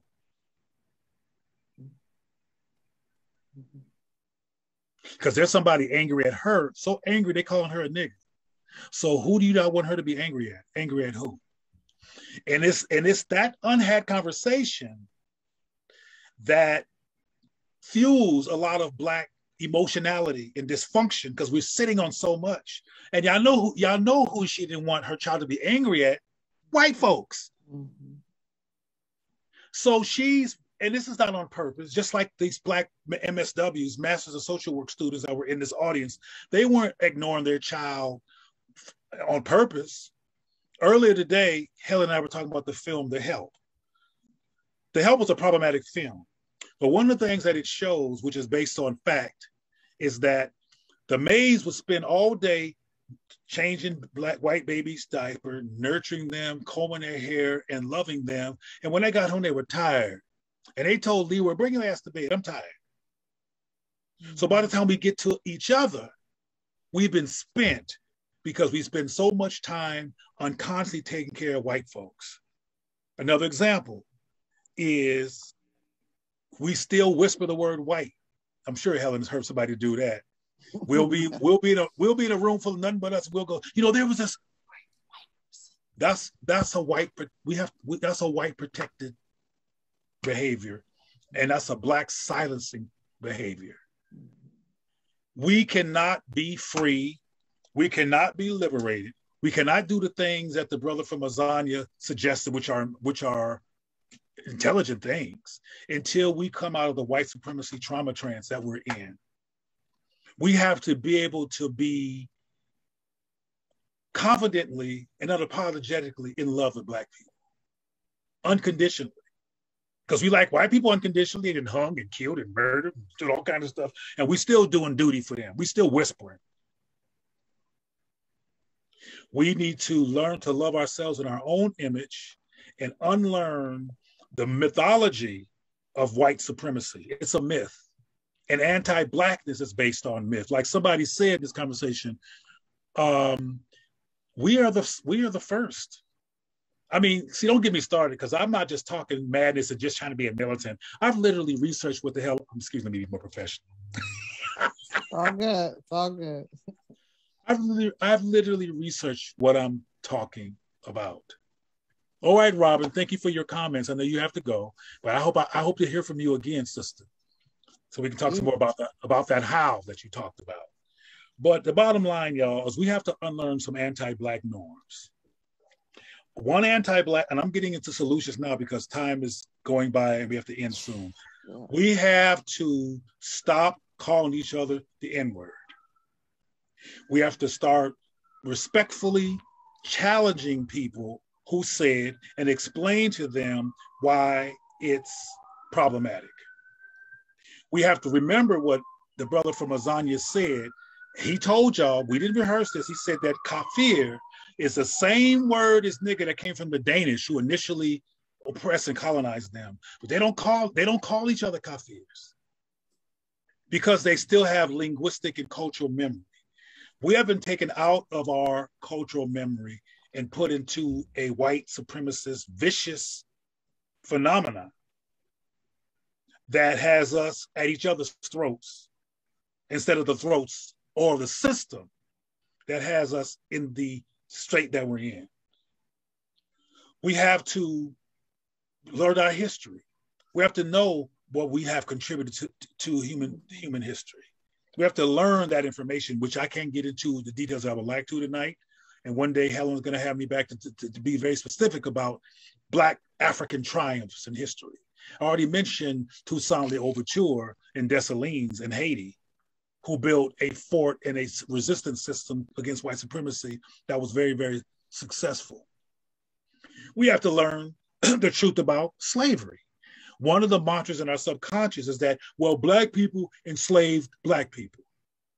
Now, I think it was Pierre, I could be wrong, who typed that in the um, chat, and I want him. I want. I want him to appear here so I can talk to him about that and find out what he's talking about because this is important.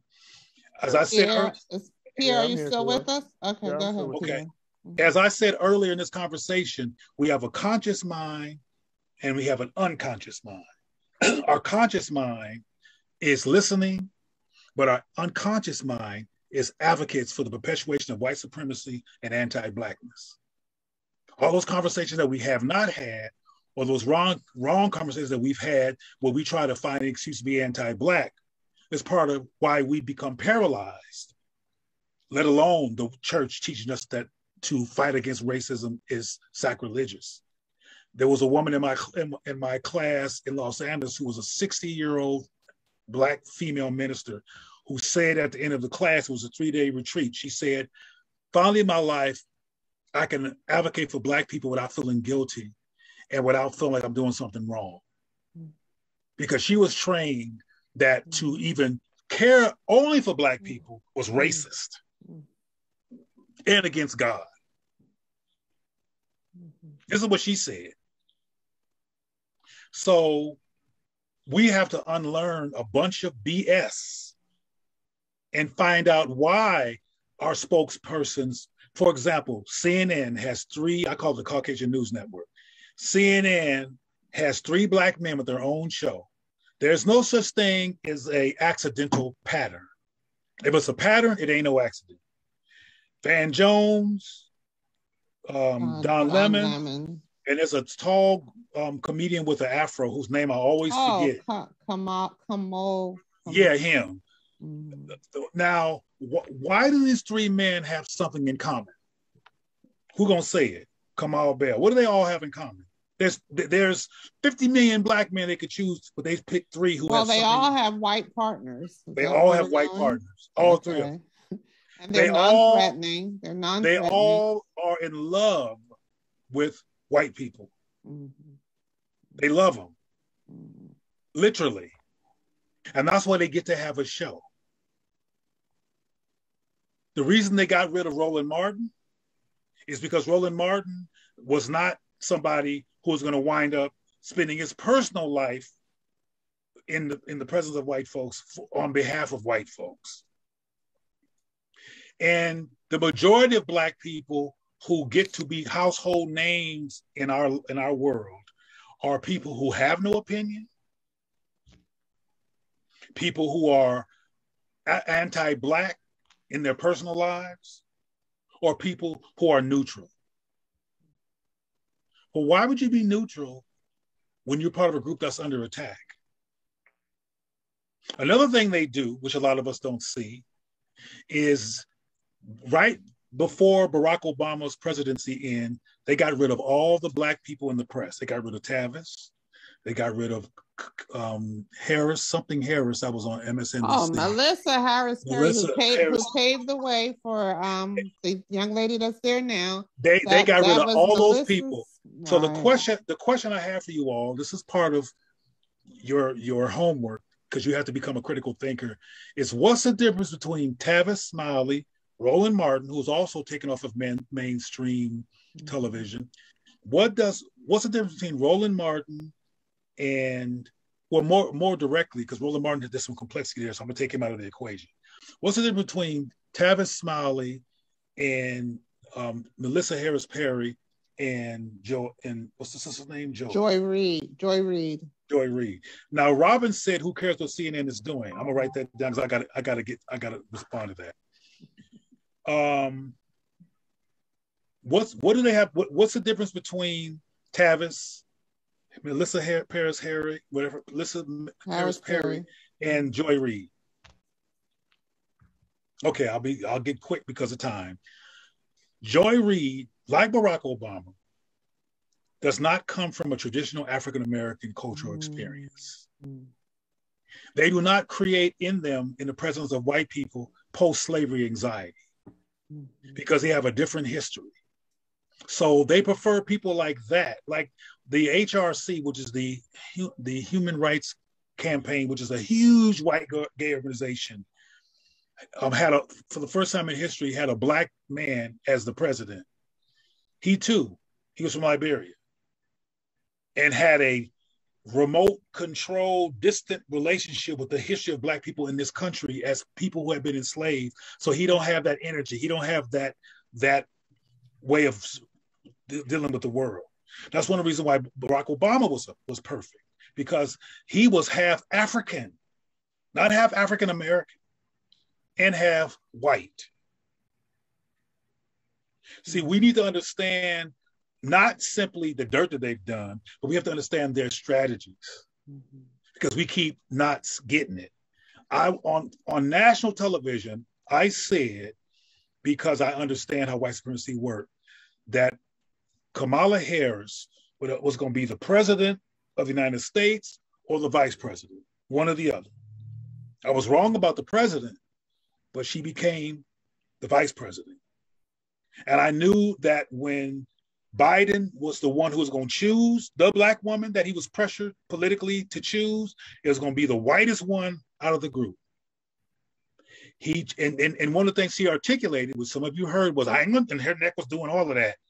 I ain't gonna be work, doing nothing just for black people. She said that. She, uh, she absolutely did say that. And with all the disdain that she could muster, and if you haven't seen the video, I'll be happy to send it to you. I think she's being, I forget the organization. Was it the Grio who was interviewing her? And it just, right. Ooh, it was not good. But anyway, well, go ahead, Cleo. There's some Cleo, people who are disagreeing with me, and, and I want to I they want to address them. Mm-hmm. Somebody said I was with you until you did something. Come, let me let me read that. I was with you about CNN, but when it comes to Joy Reid, I'm sorry, Cleo. You need to. Well, Joy Reid is not on CNN. Joy Reid is not on I CNN. Know. But she is.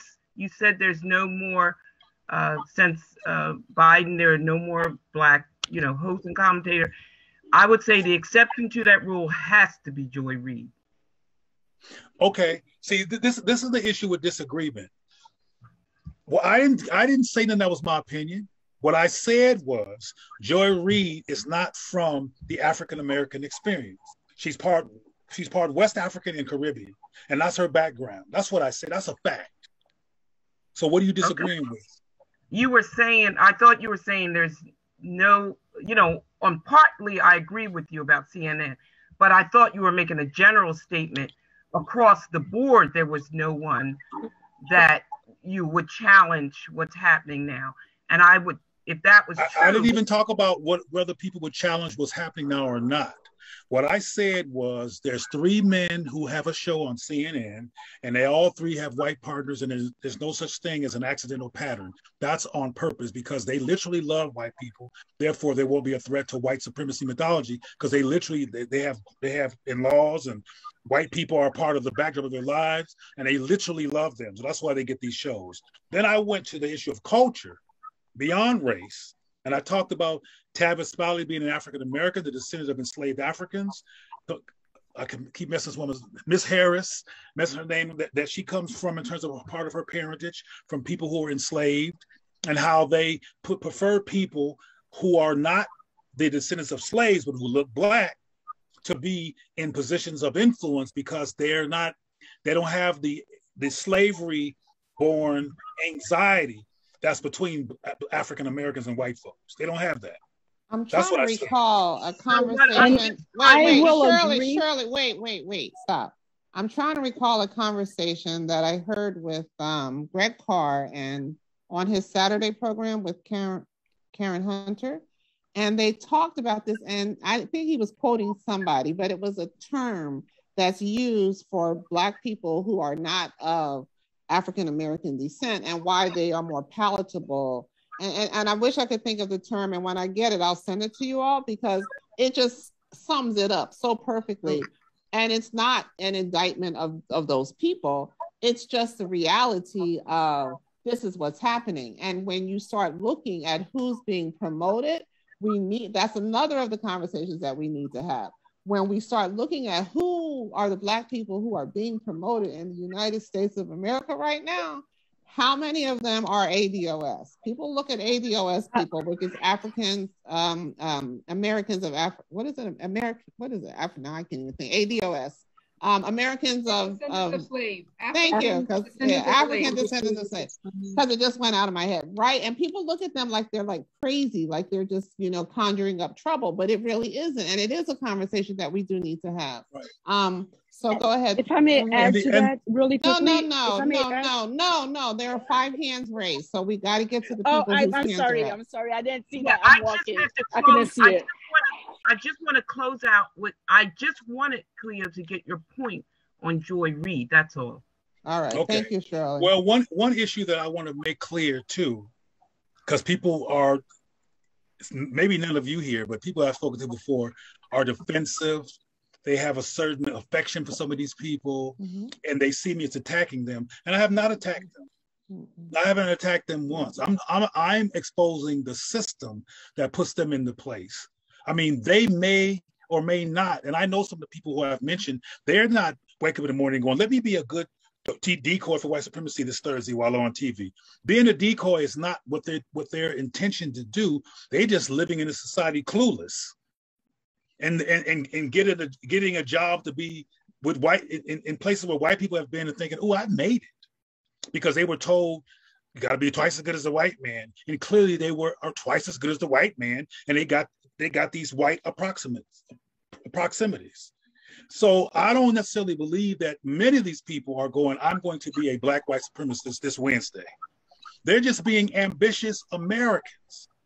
And, and Donald Trump had already told you what America means. It means white. Let me say this clear before we and I and, and I don't know if Itumeleng is still here. So when I was in South Africa, there's this concept that because I'm not an African, I'm a black person, but I'm not African, somehow while I'm in South Africa, I can be a quote unquote honorary white person. So what I say, and you know, I stood, I said in a public forum, like I'm insulted. I don't even want to be honorarily white. I'm very comfortable with who I am as a black person. And how could you expect me to come into a black country and and allow you to just um, separate me from my own people who look like me? Like really? Like no, we're not going to do that so what I say to our our brothers and sisters from other, you know, other countries who are here, maybe nobody's saying that you can be an honorary white person, but some of us are stepping into that role and knowing full well that you're stepping into that role and you're embracing it. And then you're showing up to speak for and redefine what it means to be Black in America. And that's very problematic. And that's a whole nother conversation um, so I'm turning it back over to you, Cleo. Sorry. It's a no, it's a whole nother conversation. And I see the hands and I want to get some get some of them, but I want to I want to push back a little bit to what you just said, Helen.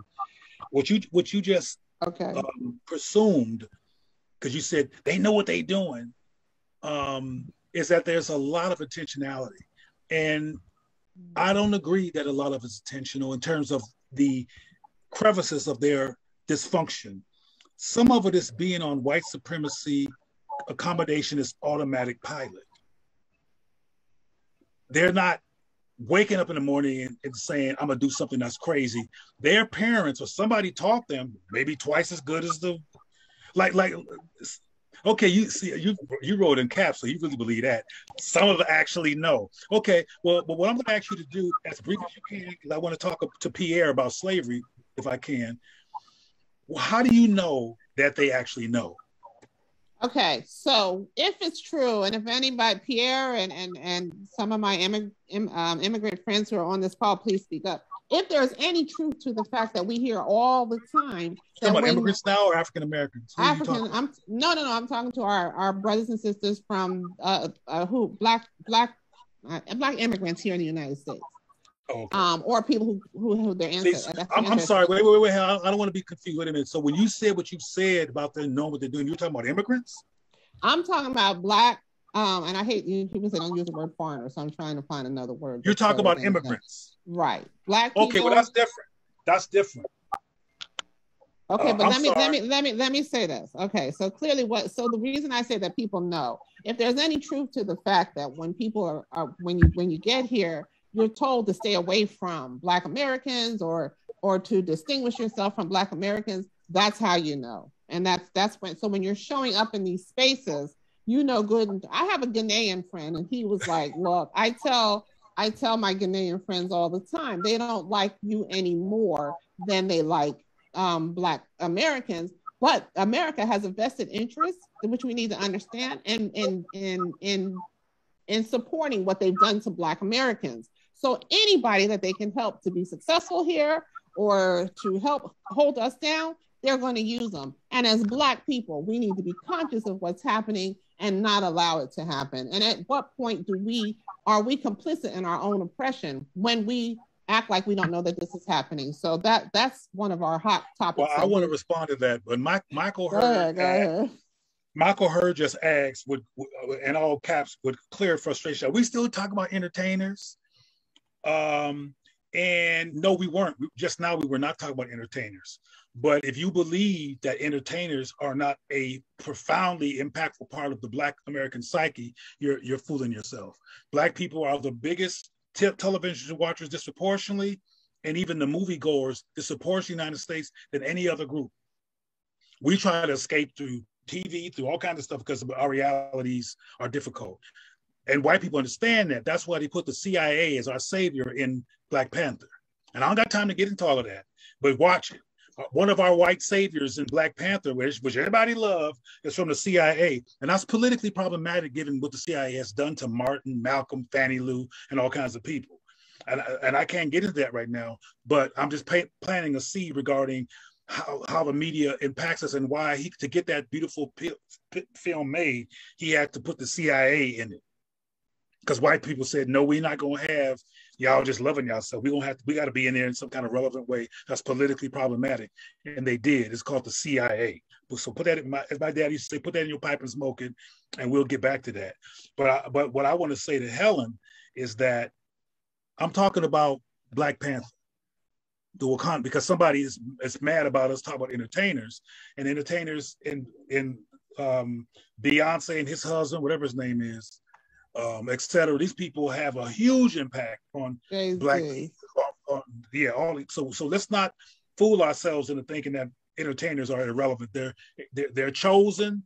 They're purposely made into spokespersons because they're uh, compromisable to send us into confusion, and they're very very relevant. But getting back to Helen, I didn't know she was talking about immigrants when she said some of them know what they're doing. I thought she was talking about black people period. Now, let me address that real quickly. Whew.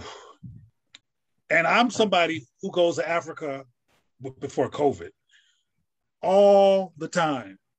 West Africa, Central Africa, Azania, which most of us know as South Africa, even Morocco. I go there all the time.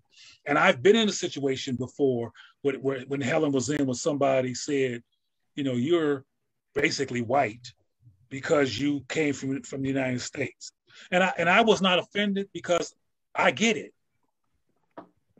Now let me be clear. I didn't get it silently. The conversation was getting ready to happen, and the conversation did happen. But I get it. I know why people do say what they say. So instead of getting mad at them, I address the issue. I uh, take a lot of Ubers, and half the time it's Africans who are driving those Ubers. And, and in Florida, it's often Haitians. Well, we be having some conversations, some black, some some black mental health developing conversations and getting them to unass whiteness. I mean, that's what I do. But have you ever, Helen, have you ever seen Christians in Africa? Uh, are you, that's funny? Is that a joke? Christianity okay. is all over. All, went, look, yeah, yeah. Look, way too Africans, much. Africans can out Christian African Americans. Oh my God, it's. I said if you so, can't, if you want, go ahead. Yeah, yes. So the point is, the point is, Helen, mm-hmm. is that we're poisoned, and the white supremacy imposition and invasion is central to all of it. So that's why I don't get offended when I hear crazy stuff from somebody African or crazy stuff from somebody African. I get it. Y'all, you know, y'all been contaminated. And I mean, they give drama in Africa with the white Jesus that we only can fantasize about because Christianity with the white Jesus and the white God is one of the most successful weapons of mass destruction that was that has been dropped on, on people of African descent. So that's part of what's going on, Helen. And when you say that there's black people who know what they're doing, but whether they know what they're doing or not, they're still inside of an unresolved colonial invasion of their mm-hmm. of their experience. For example, I talk to young Africans all the time, and I ask uh, uh, young Africans to make them laugh, but to get them to think. And I say, why do all of your judges and lawyers look like RuPaul? And they go, what? and they make the face, same kind of face Helen's making. And I'm like, they all have on blonde wigs, white wigs. They do. Still your ridiculous. your judges and your attorneys. Mm-hmm. Now, instead of me going to all of that, I'll just say to this, Helen, they had never even thought about it. They had never even analyzed it. They had never even critically, until I came along, mm-hmm looked at they just said that they, this is what you do when you, you go to you go to law school and you get a, part of your graduation you get a certificate and you get a wig that, that that came from england they don't they they're not they're not trained to deconstruct christianity or white supremacy when i went to the dungeons in in um, ghana there was a young man who lived right next door to the enslavement dungeons who didn't even know what they were mm-hmm. He didn't even know what they were. He lived right next door. Exactly. And so remember, be... the college is right next door. What's the university? Cape Coast University or whatever? Yeah. It's right next door to. Yeah. yeah. They don't. Yeah, it's really bad. The other thing too is they don't teach anything about slavery. Um, about you know, so black people in America, like we're caught in the in the hard between a rock and a hard place because America is teaching you some BS about slavery and what it really meant, and then Africa, they're not teaching it at all. And you're like, so now, so now when you come to the United States and there's this this What's sense of this Get sense of camaraderie, right? And you're like, you want and when I'm in Africa and I'm I see these these uh, uh, Christian churches on every corner and some with white people preaching in the pulpit, I'm like, do y'all even understand that this is you know this is how we got where we are? But no, they don't because they're Can not I- talking about it. And the other thing that's interesting too, when I was in Ghana, the, talking about not understanding what's been done to their minds, they only wear their African clothes on dress down Friday. And I'm like, they wear Western clothes Monday through Thursday. And I asked them, like, I wore African stuff every day just for the hell of it because I was trying to make a, com- a, a, a, a, comment, right? But do you even understand what you're saying? That when we and I they said when we have to do business, we want to look professional. I said, so do you think the men in in in um, um, the Middle East do they take off their clothes or you know or they they, they do business and they do business and, but it was just the whole mindset that they couldn't even grasp the fact that what you're saying is that what we do is not good enough and when we want to be professional and we want to be respected then we have to look like western um, people like America, and that and that's horrible. When I was in so that's Kenya, part of the, so that's part of the equation, Helen. when they be doing this stuff that you look simply as intentional, well, they know what they're doing. Not all of them. They're, Not all of them. Some of them they don't even have the they're, thinking. They're brainwashed. Well, mm-hmm. I used to wear nothing but African clothes until many of them were stolen during a during a, a flight. And the day that I didn't have access to my clothing and I wore a t-shirt and jeans. Uh, this is this is United States. A brother across the street said, "You finally dressing like a human." Oh That's what he God. said. That's what he said to me. So how are we going to, if we can, move from paralysis to practice regarding Black affirming behavior mm-hmm. and norms while we're in a trance? That's even with my afro. I had a woman in Philly, a black American woman in Philly. She said, Your hair is so pretty. You're so brave to wear it. Like, brave? but that's the psyche that we're, yeah. So we got a lot of unconditioning to do. So, yeah.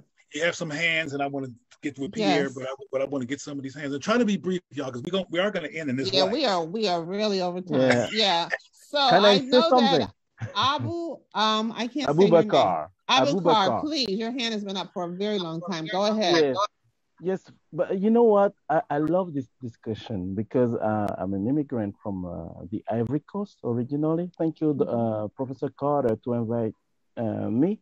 But I think the same way we need to understand African American because mm-hmm. unless we, I said it, unless we understand the post-slavery syndrome uh, that uh, you, you guys suffer, we won't be able to start backing back our self-love. And it is, it is true. So it's the same thing there. We need to be educated yes. both ways.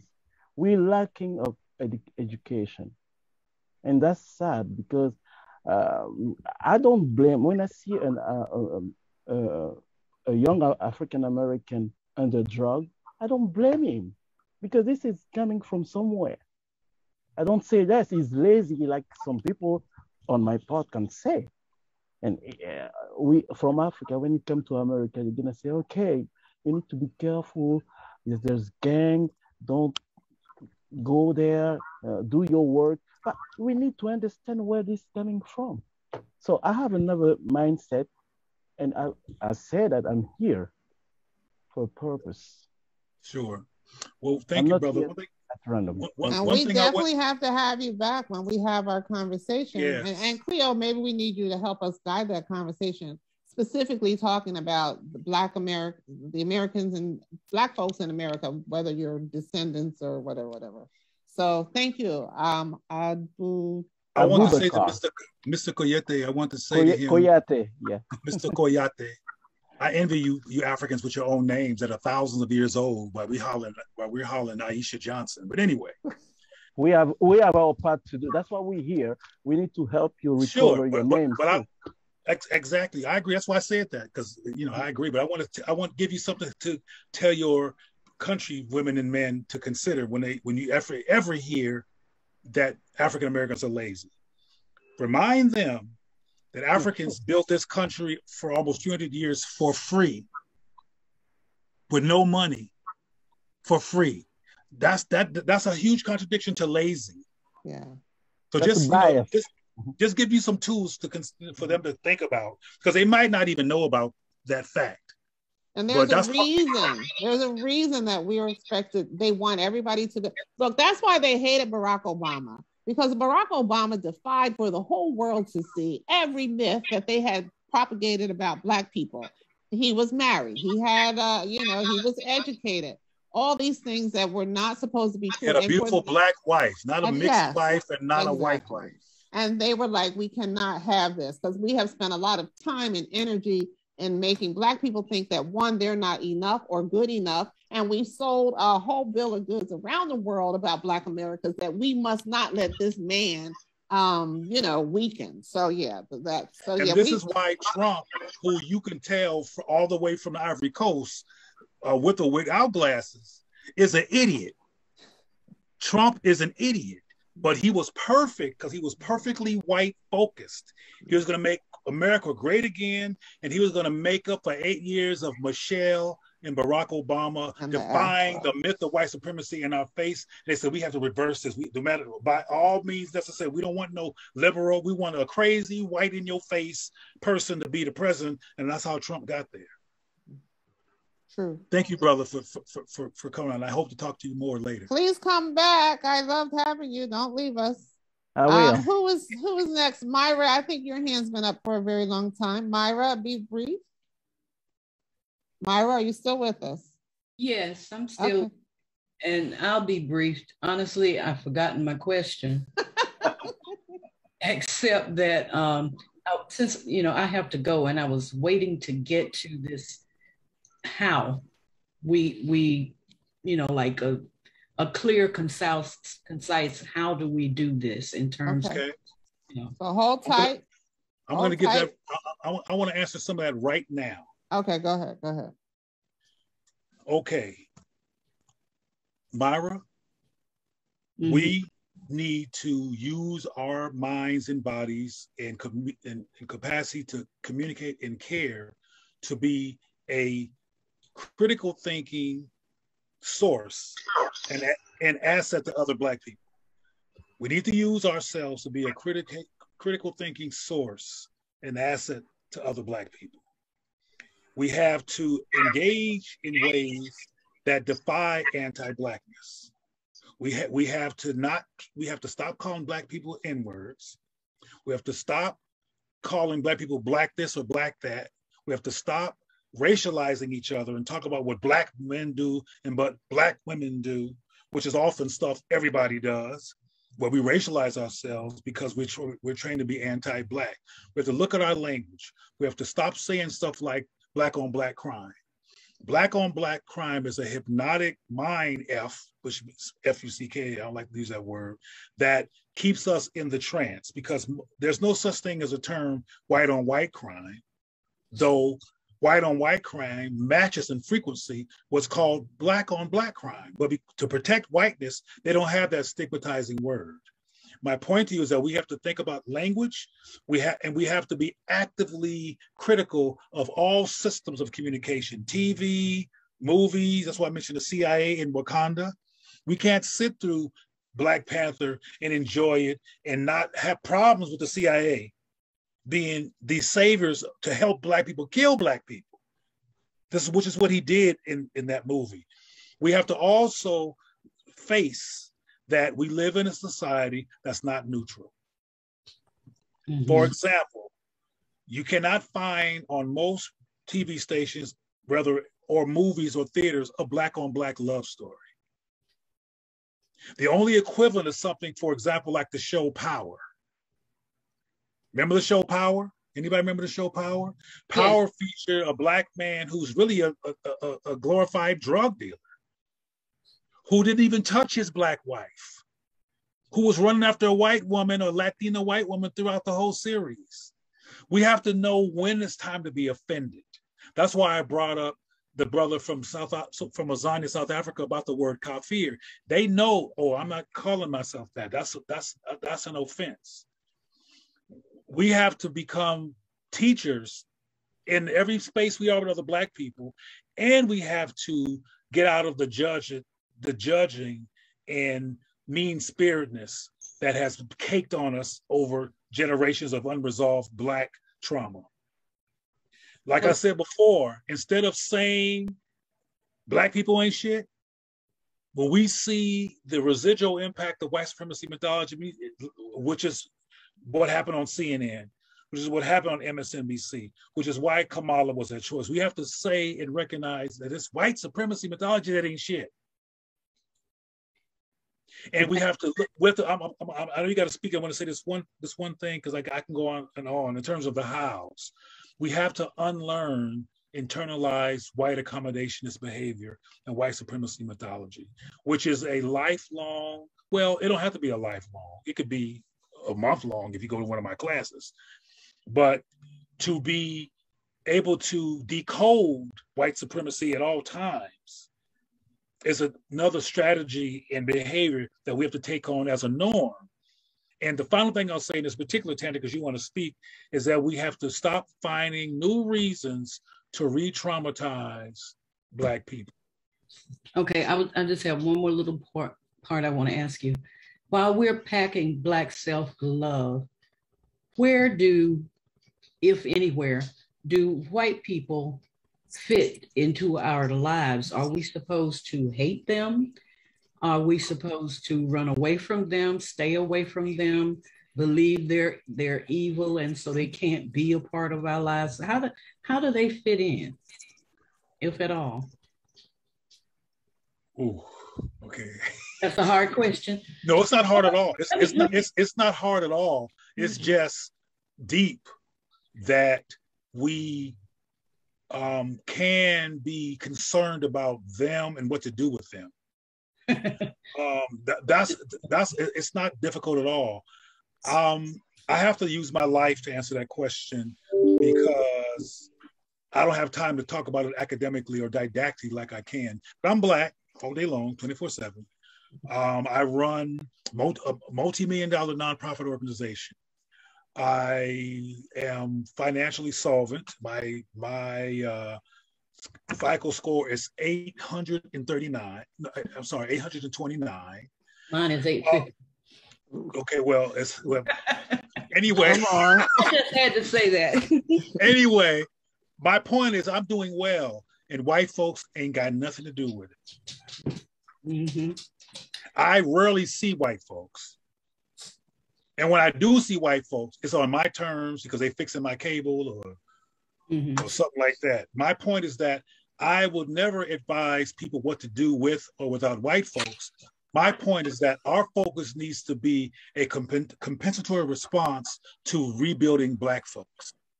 Mm-hmm. Okay, I can to, white people, white people, and what they doing, and what they think, and what they might say, and what happens in their life, don't even cross my mind. It's a, completely irrelevant to me. However, I will answer one question. I'm not telling nobody to hate nobody, but mm-hmm. what I am telling you to do is love black people. Mm-hmm. I am saying that, and love yourself as a black person, and unlearn internalized white supremacy mythology. I am saying that, but because mm-hmm. because I there's not a there's not a hateful bone in my body. There's a, there's a defensive bone in my body. I'm defensive in response to people that are attacking blackness and black people. And I re- react to that in a way that deflects or challenges or stops it. But what white people think and do, and oh, they might think this, or it mm don't even cross my mind. What crosses my mind is what's going to happen to black people. What state are black people in? How is this going to harm Black people? That's why I talked to those mental health professionals at, at those mental health conferences about when Dylann Roof murdered those people in that church, that they talk to their children. That's why when that when these black mothers and sometimes fathers call me and say, "My child was just called a name. What do I do?" I ask them who they, who are they protecting because they have not said anything to their child themselves, and they calling me. and what they and and they always say, "I don't give a dang if they're from Kentucky, Baltimore. I don't want them to be angry." And then I ask them again, angry at who? And they go into a catatonic state temporarily because they had never thought about that. Who they're prioritizing over giving their child guidance on a reality that they can't help but to have to run into in their lifetime, which is the white supremacy mythology. They're going to run into it. So the best thing to do is teach them that white supremacy mythology, whether it's television, whether it's Snow White and Seven Dwarfs, whether it's a lack of love stories for them to watch as children on television. This is all the result of something else outside of them being corrupt. That's typically in white hands.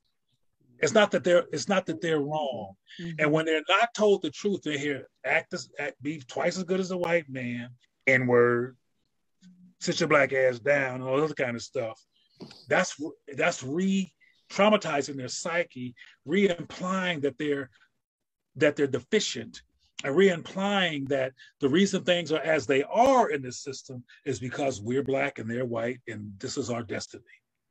And I think we have you to... have the church with the white Jesus and the white God all over the place that reinforces the mythology of black inferiority, black normalized down downtroddenness, and white wonderfulness. Mm-hmm. Well, and they're really pushing that. And black men and black women, I'm gonna close with this because I see Helen others want to speak, but I'm gonna tell you right now, this is very dangerous. White people are really opportunizing off that black confusion and the lack of black love stories and are literally encouraging with some level of success black people not to look at other black people as as life partner options Mm.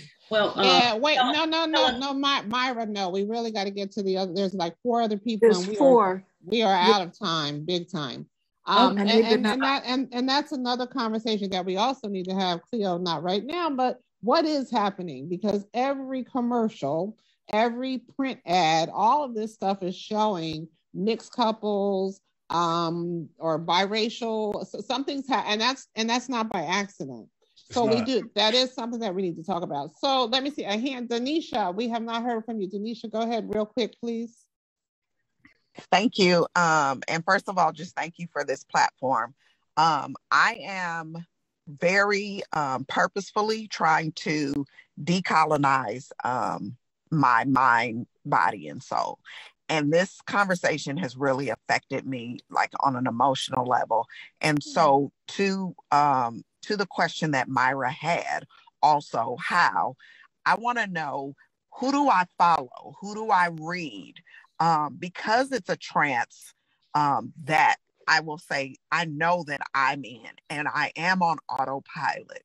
How do you get to that place where you're not just re-traumatizing not only other black people but yourself on a daily? And i apologize. Mm-hmm. this is just really um, affecting good. me uh, because i don't want to continue at this stage of my life to be in this trance so i just need to know where do what resources do i go to to um, aid me in decolonizing um, myself Cleo question. I just want to um, let you know I appreciate you, sister, and thank you for your emotional honesty. And I just want to honor you for being real in our presence in your tears. Thank you for being real. Thank you. You're very welcome, sister. Um, the people to pay attention to who are talking about these issues in no nonsense, direct ways are myself um, I do workshops, I do live stream discussions, and I'm developing an institute called the, the Black Critical Thinking and Culture Affirmation Institute that is going to be teaching Black people this information. We also have a project called Black Leadership Through Parenting, where we teach Black parents how to be intentional parents to Black children and teach them how to guide their children toward being able to decode the white supremacist corruption, which is all over the place, that they will drown in if they don't get a black affirming safety net. So um, I'm I'm a source, and, and, and I and I and I'm a pretty decent source when I'm in the context of educating. Read the works of Dr. Frances Cress Welsing. Um, she, I have to say that I don't like saying stuff like this, but I got to say this in case because I'm not going to be around when you read the book. Um, as I said before, she was one of the most premier, brilliant deconstructionist of white supremacy mythology and its impact on Black people that that's ever been born. And she has some issues too around patriarchy that she never resolved. I think that I think that patriarchy, toxic patriarchy, is a problem. Um, white supremacy mythology rolls out through a patriarchal lens, so there so there's a lot of patriarchal harm that's done through white supremacy that she doesn't address enough for me. But um, other than that, when it comes to the science of white supremacy deconstruction, you can't get no better than Dr. Welsing. She also um, has an uh, on YouTube. There's a there's an interview between her and this guy named Shockley on Tony Brown's Journal, where she is called in to debate Tony Brown. Excuse me, to debate Shockley, who's a who's a racist who used a um, skeleton to to um, measure the size of the black cranial cavity to to imply that black people were inferior inferior. To watch her spank his ass like with aplomb and flow. She she was no joke. So check out Dr. Welsing. There's also a book that's helpful I apprehensive to rec to recommend it because it's so huge and it's very academic. But you might want to, you know, take a three or four years to read it, you know, while in the bathroom or while you chilling or whatever. And it's called Yurugu, Y U R U G U by Dr. Marimba Ani. R U R U G U.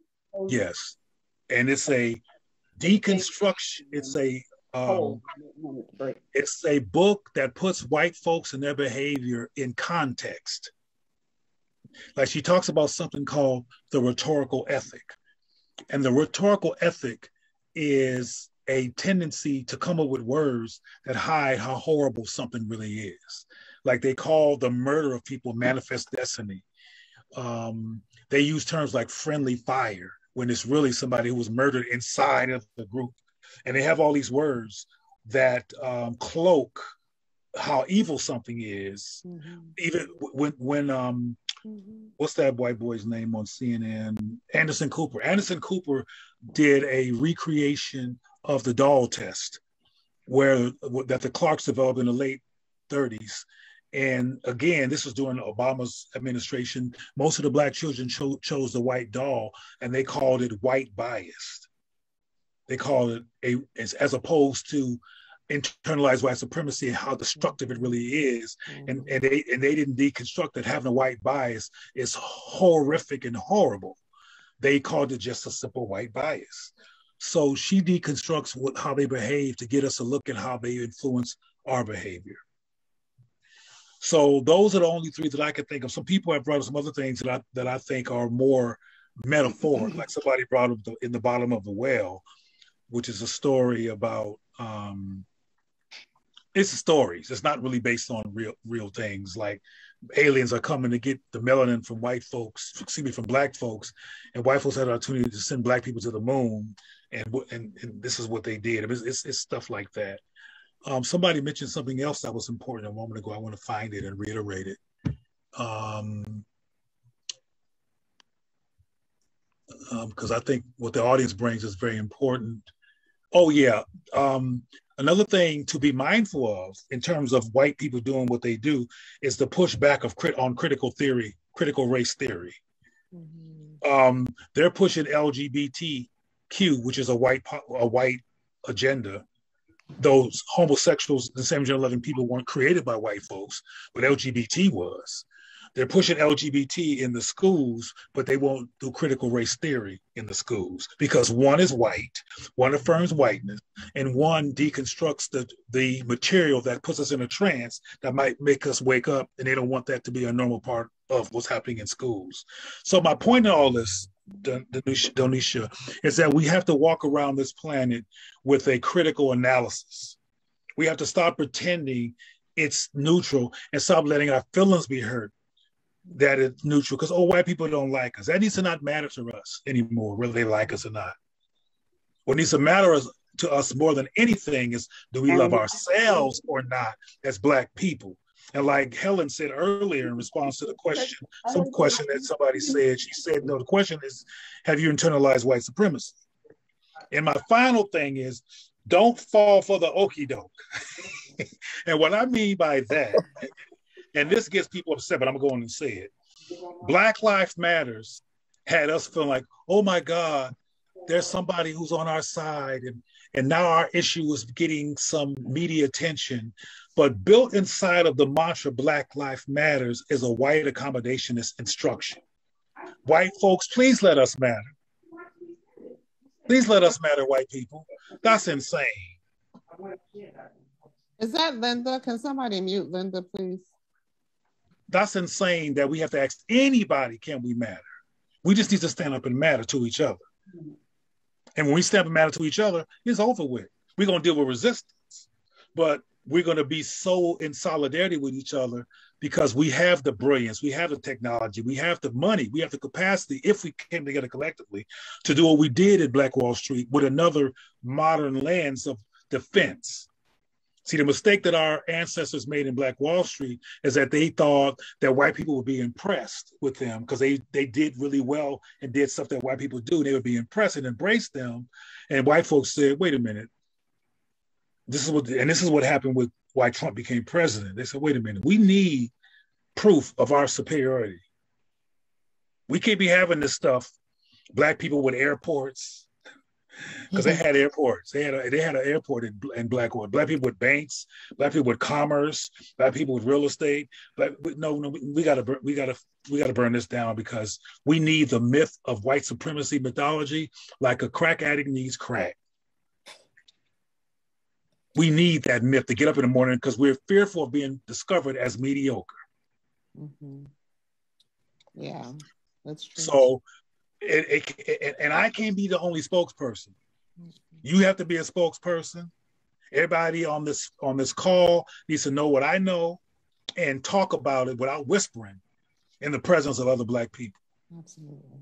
Mm. let's try and get to these last three questions. Thank you so much, Denisha. I think it's your first time with us. Please, please, please yes. come, come again. But I'll we be back. We don't Thank have Cleo every week, but we still have good conversations. That's okay. Thank you so much. Okay. Uh, very quickly, um, Monyang, we haven't heard from you. Sheila, we haven't heard from you. Pierre, you'll be our final final person speaking tonight. So Moon, I think I'm saying your name right. Moon Yes, Moon Yes, hi. Okay. Thanks a lot. Mm-hmm. Um, I just want to give two observations. Um, one has to do with what we're taught very, very early.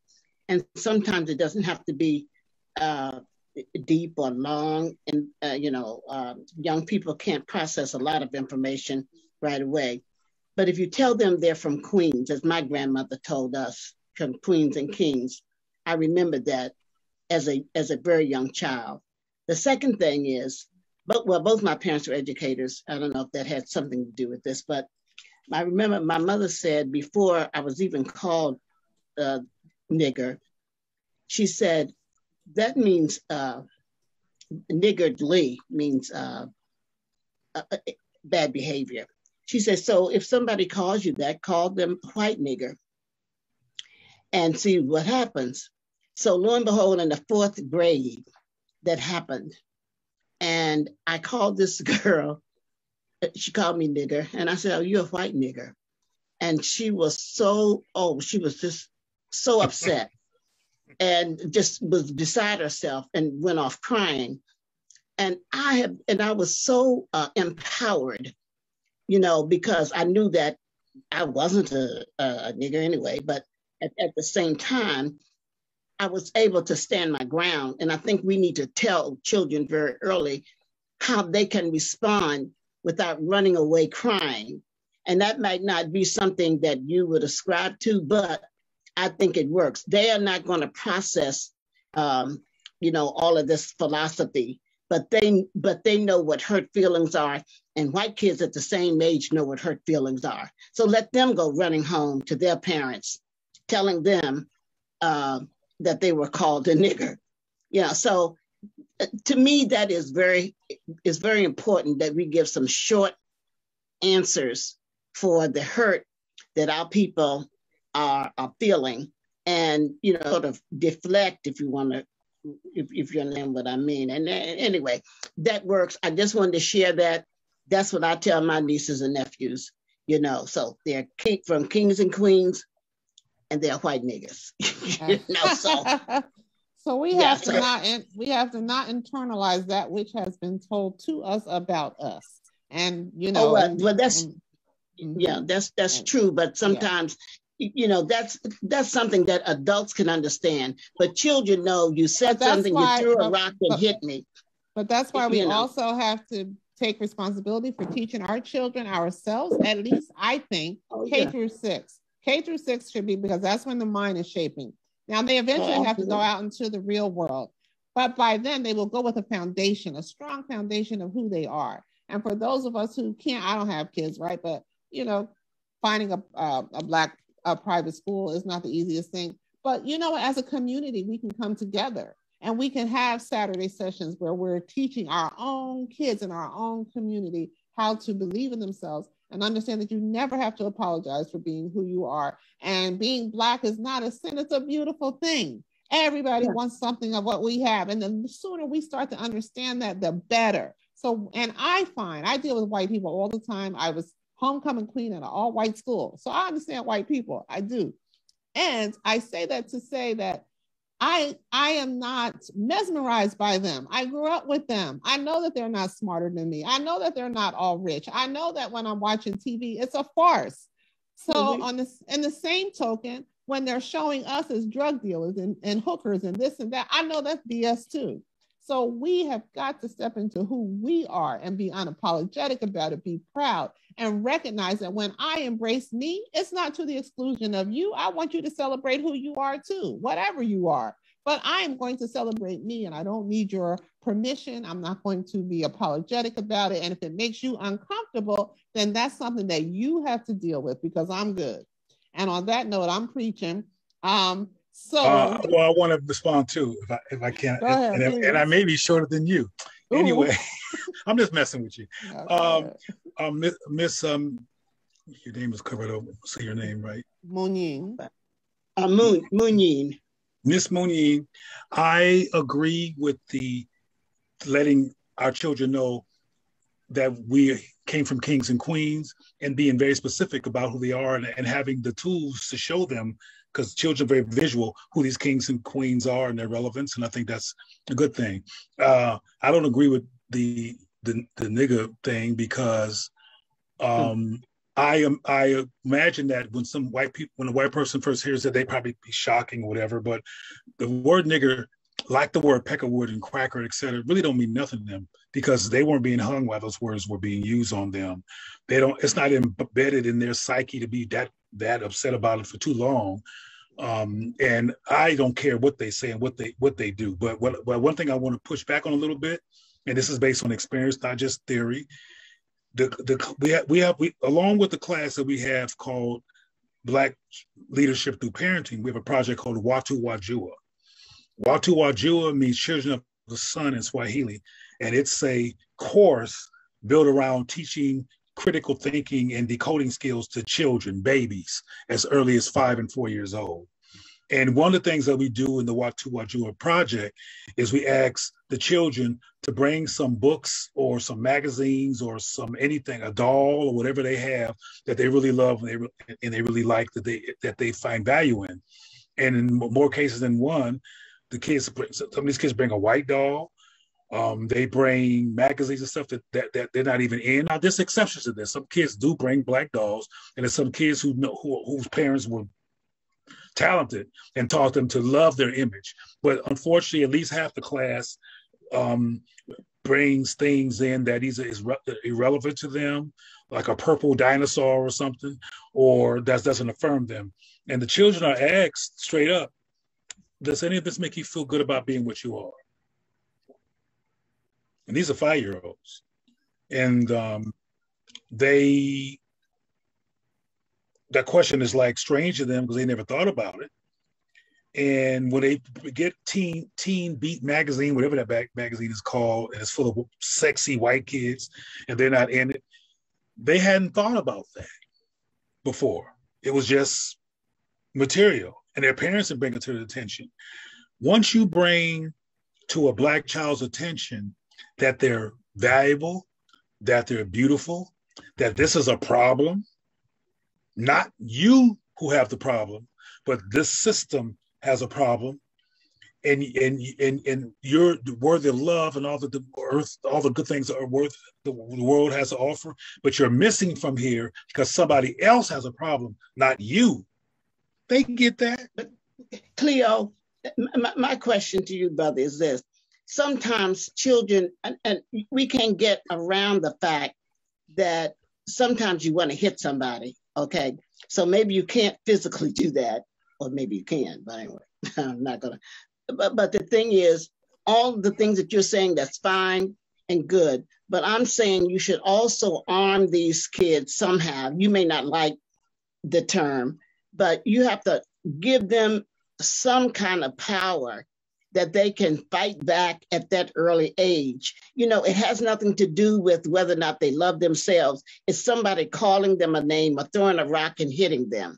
And so, well, you, yeah, I, I won't belabor it, but like I just I said, believe- like I said, you know, I agree with the first part of what you said. If somebody says some stuff, and I've literally taught kids that, if somebody okay. says some something about them being an N-word and go, wait a minute, you don't get it. I came from kings and queens. Our people taught your people how to use cologne. Our people taught your people about sewer systems. Now you think so, a fourth, fourth grader is going to do that? Yeah, I've seen them do that. Yeah. Okay. They they uh, didn't know okay. it. They, they okay, everybody. It. It's it's almost eight o'clock. We started at five, and mm-hmm. we still have two people we need to hear yeah. from Sheila and Pierre and Thank Sheila you, is first, and then okay. Pierre. I'll talk to you another time. This is the conversation continues clearly, and Helen and Dr. Cleo they are planning to have another conversation because it goes on. Next, please, please, for God's sake, please. Well, you should give, you know, you should have a time limit for everybody, I guess. From, and everybody, from now on. Mm-hmm. Sheila and from, right, and you're right, my sister. Sheila and Pierre, please, can you keep it down to two minutes so we can get off of here with closing remarks by eight o'clock? Yes, I'm going to try my very best. Just thank you um, for inviting me to Dr. Linda Carter. Um, I'm an educator, I'm a lifelong educator, and I just want to add a few things. Uh, somebody wrote earlier that um, you know we should stop the kids from listening to Kanye West and Jay Z, and I just wanted to just say something um, to that. That I don't know if people are actually listening to Kanye and what he's talking about, other than the snippets that we allow a media that we don't control to um, put forth in front of our children and in front of us as a people, but yet and still they they promoted um, supporting Ka- Kamala when it, it, and it's not personal. Of course, I don't know her personally, but the whole Chucks and Pearls and it just represented symbolism. When we had Kanye running, if you listen to his platform, he was running on everything that we really needed in the times of now. But now nobody's talking about reparations. Um, even though we saved this Democratic election um, as a people, nobody's talking about canceling student um, loan, um, student debt. Uh, and and we're not even talking about the George Floyd Floyd bill. We're not talking about anything that we're getting out of the deal. And these are things that people like um, Kanye West and Ice Cube were promoting, and people were calling them coons on um, a wide mass level. And these are some things that we need, and we didn't get anything. But what was received was an Asian bill um, what was received was the $45 billion that was set aside from the last administration for our HBCUs. Um, it has been struck down by Biden for two um, to three billion.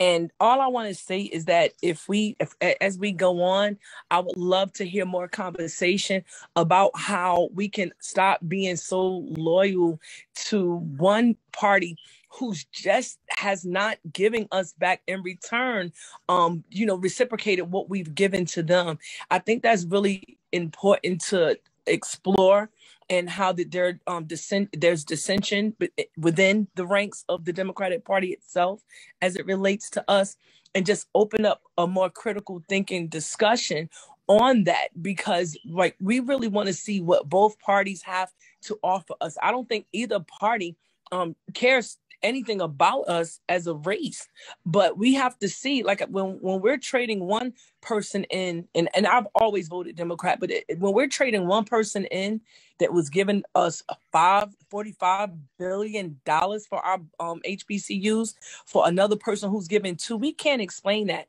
and it's something that we have to place accountability on, as opposed to just blindly continuing what we've been doing for years, just voting, you know, democratically. And again, thank you guys, um, you know, for the outlet to share that this evening. I appreciate each and every one of you. Thank, thank you, Sheila. I agree with you. I agree with you completely, sister. Yeah. Completely.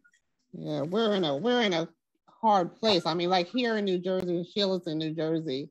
Um, you know, voting in this last election was really difficult. And, you know, in talk, terms of politics, which is a whole nother conversation, I think that the Democratic Party takes us for granted, um, no matter how you slice it. And what they should have learned in last week's election is that you can keep um, um, trying to um, court other other um, constituencies, be it the gay community, be it the Latino community, but you cannot win an election unless Black people show up. And the sooner they understand that, and we understand that, the better. But that's a whole. Hey, but that's a that's a whole other conversation, mm-hmm. and something that Robin just said mm-hmm. um, is significant. She said we don't show up to negotiate, mm-hmm. and one of the things that showing up to negotiate requires is that you really respect yourself. Mm-hmm. Uh, during Obama's administration, Latina, Latin, Latinx immigrants and white gays got hooked up. But they got hooked up not simply because Obama went around finding them to hook up, they were in his face. Mm-hmm. We were too busy celebrating that Gladys Knight sung last night. And, and we love Michelle Obama's dress mm-hmm. because we settle for less because we think we are less. So we can't show up, and we're not less. That's a lie. But we can't show up and make Obama or anybody else accountable if we don't if we think we're just n words. And it, we're in a trauma trance. I mean, all, everything that we need to do that's in the palm of our hands cannot be done while we're in a trance. We got to come out of the we got to come out of the trance. And we need to stop expecting that people know what we want, right? So, and there was a whole lot of protectionism also going on around the Barack Obama thing that did not serve us well. Did not serve us well at all. So I look forward to the conversation when we dissect the efficacy of the Obama administration and do we want to uh, another Obama administration? Pierre, you are. Yeah, but we have a half. We have a half Obama. We have Obama love, but that's yeah. a whole nother. Uh, well, I mean, and and that's my thing. I think that she is a continuation of Obama because the perception is is that that's what we want. Like, yeah, we we had Obama. Obama was the first black. We get that, but racial. Okay, no, yeah, I know that. But okay, okay. He is. I'm, I'm not making it up. He has. He's. He was half black. Yes, he is. But the and not and not and not African American. Yes, all of that, all of that. But he showed up as a black person, and we embraced him. As, one thing I have to say, I have to give him credit that I won't give some other folks that I won't call by names. He is very clear. He doesn't say I'm biracial. He says I'm a black man. So I'm gonna give him that. And I think that we have to be real careful on deciding who is and who isn't. Now, once you claim your put yourself out there, is that, we have a responsibility to make sure that you show up as that and make sure that you understand what that means. And that's where Barack Obama maybe be a little fuzzy about what it really means. But anyway, Pierre, We'll, I- we'll debate about that later. Yes, somebody I said. can't wait. I can't I- wait. Somebody said I want to hear from Pierre, but I but somebody just said, um, and we don't we're not gonna get into, it, but somebody just said, and how was LGBT plus a white platform? Trans black people are the most likely to be persecuted. Um, I'm not going to go there except to say that that's not true. The most likely to be persecuted in this country is a black male. Statistically, that's a fact. The- during last count, uh, about 28 black trans were killed. Almost 2,000 black women were killed, and almost 10,000 black men were killed. So that's not true.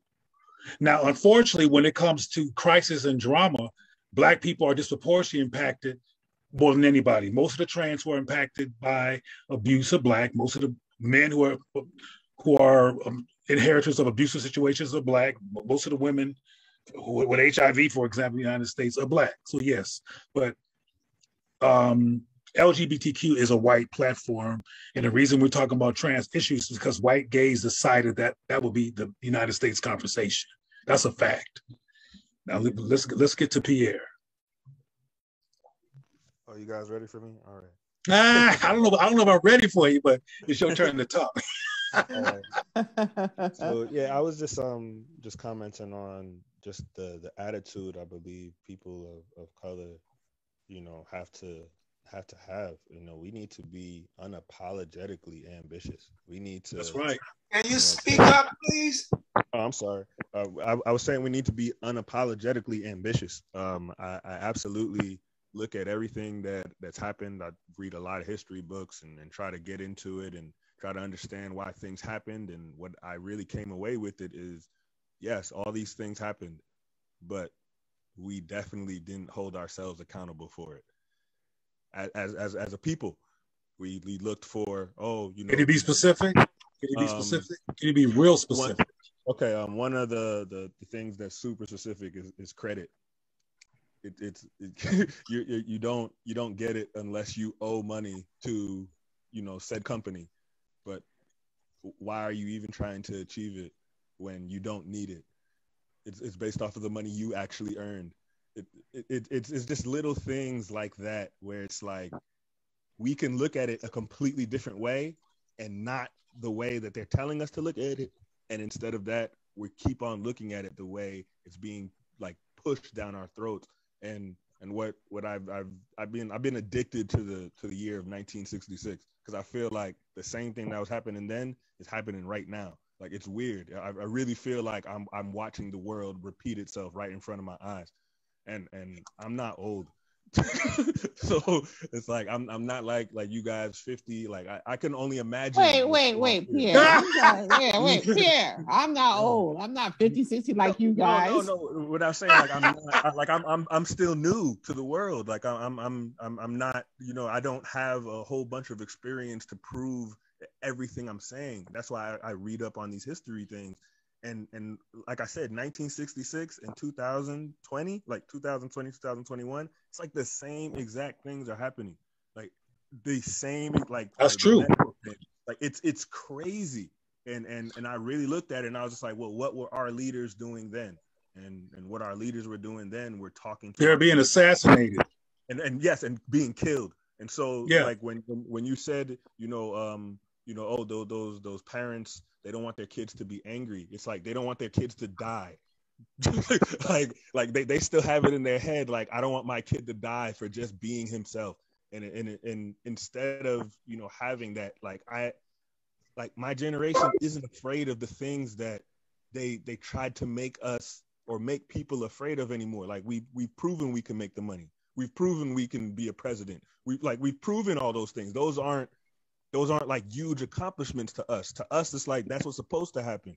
So, here, here, yeah. see if you're interrupting, but I have to because I hear what you're saying, but children um, are not completely stupid, and adults have to deal with a heavy unconscious and a heavy conscious mind. And you said something interesting. You said that we should be more accountable. And then you talked about what was pushed down our throats. Well, if something's being pushed down your throat, it's difficult to be accountable to yourself because you're trained to be accountable to what's being pushed down your throat. That's what you're trained to care about, know about, and respond to. But right, but in order to and, and, and, and you also you, you, have to do some research, and if you do any research, you'll realize. Well, people do research, but people research what they value, and if mm-hmm. they don't value black people, they're not going to research black people. That's right. Oh no, I'm talking about pe- the black people. Like I know, I know who you talking. About. That, yeah. That's who I'm talking about too, man. That's who I, all I'm talking about. I'm talking about black people. I'm talking about black people. Black people are trained to look at each other with a lot, lot of judgment and no context, but a lot of judgment, a lot of emotionality.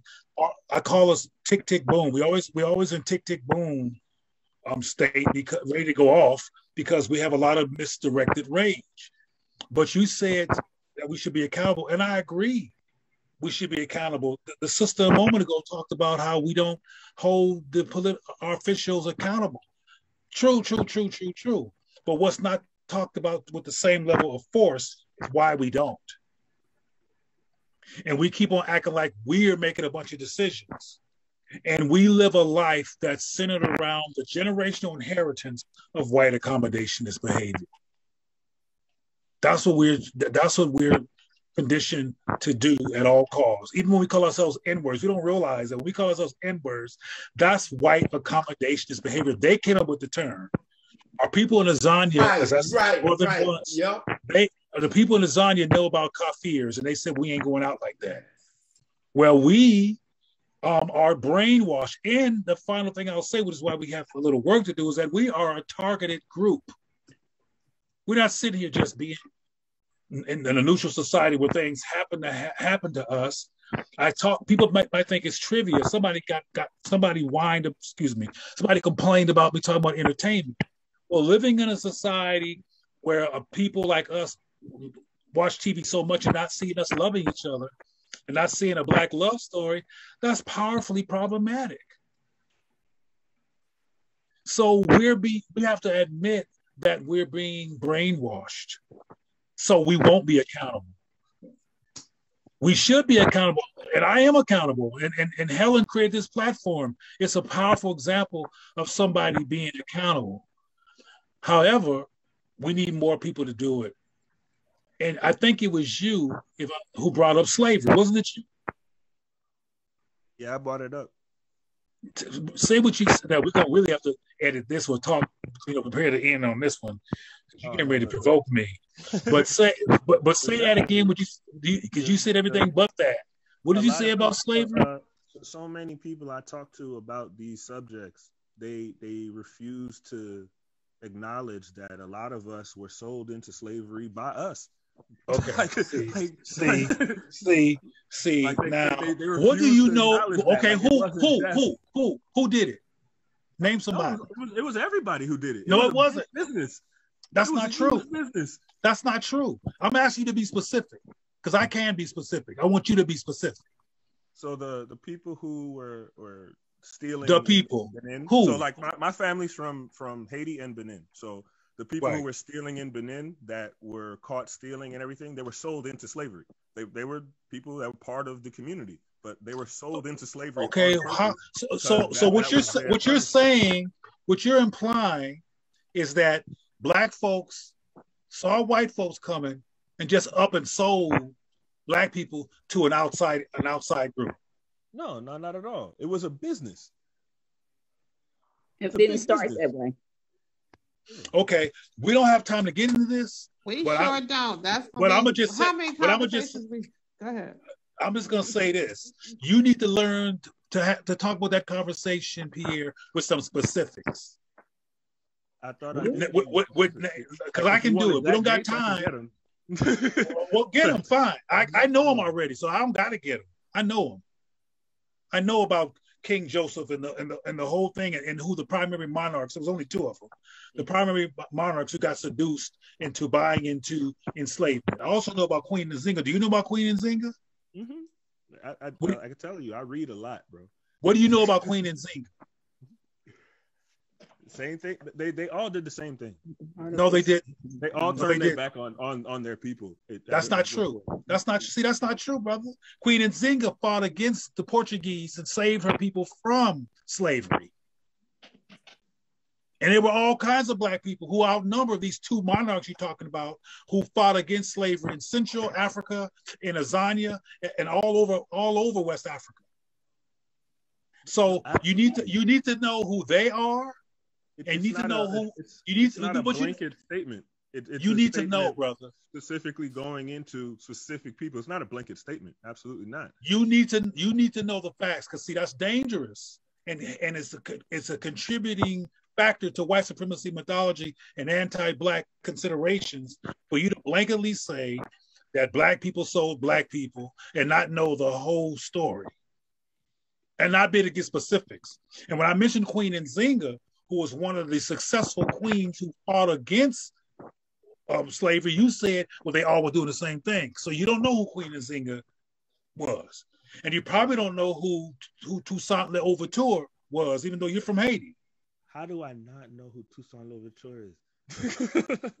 Well, you don't know who Queen. I met when, when I'm in Florida. I'm not here to, to, to go back and forth in terms of what books I read. I, am trying to really fix out what, what's what's going to be right. You know, and I'm asking and you like to know about the slave trade with the same level of apparent knowledge you have about Dessalines and Toussaint Louverture.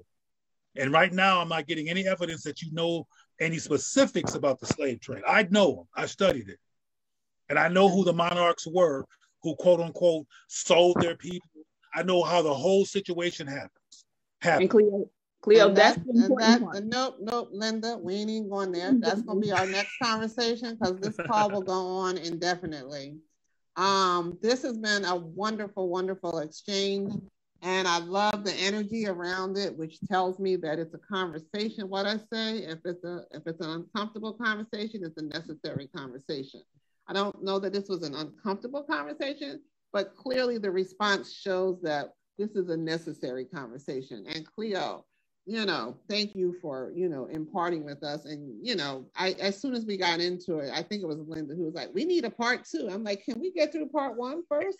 so there's just so many issues though that we need to talk about. And I love that we were able to address them here in a way that was respectful to one another.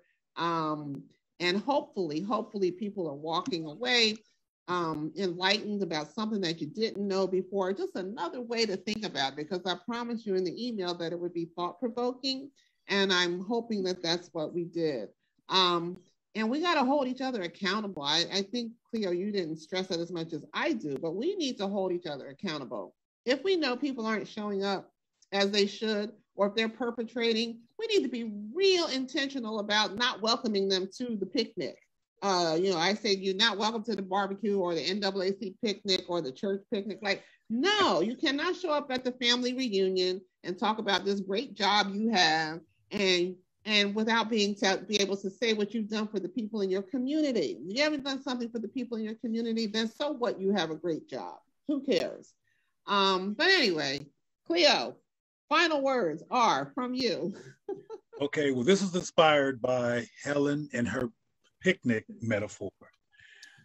I don't know if you any of you ever heard of the Drop Squad, the film the Drop the Drop Squad you might want to check it out. Um, it stars, um, um, God, I forgot who, but it's it's fine. It was pretty, it was directed by Spike Lee. It's a movie that white folks do not want you to know about, but it's called The Drop Squad.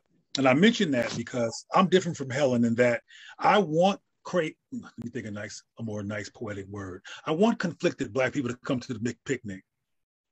I want conflicted black people to be right there so I can lovingly, not hostilely, ask them what's going on.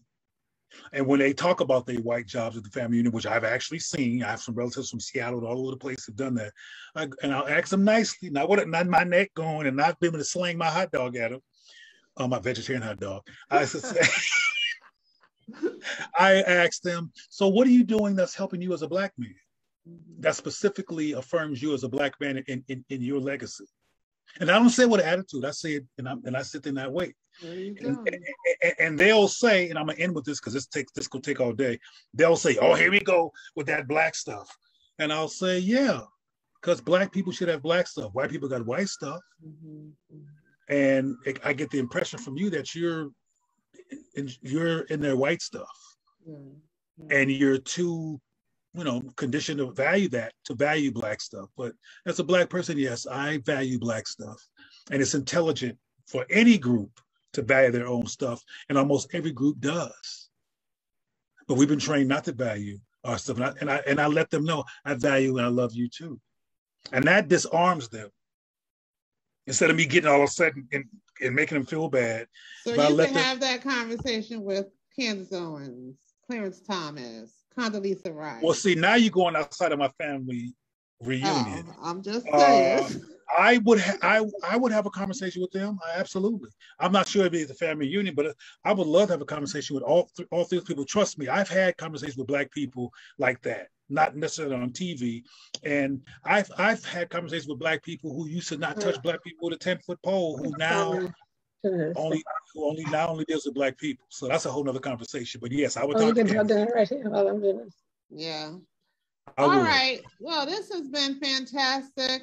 Um, Chip has been more than gracious hanging out with me because he's been sending me messages like hell. Uh, I heard you, Chip. Take care, Pierre. What'd you say? Oh, okay. I'll, I'll tell him my, my, my brother okay. from Haiti Take mm-hmm. care. And I Pierre will be back. This is the second time. He'll, he'll be back. I already know you're going to come back, here. But so, and Cleo, you and I can talk about what's the continuation. I think this is a conversation that definitely needs to go on, and we'll have to figure out what that looks like.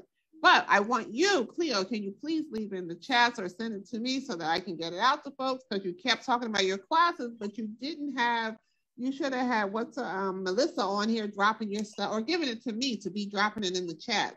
Because you True. know, I I, I want to take your class. so. Well, I'm going to make sure that you're informed. Um, because of COVID 19, our classes stopped that we used to have at our center. And, and, we're doing some things on the internet, but we have a whole series and curriculum that's coming out in 2022. So we will keep you informed.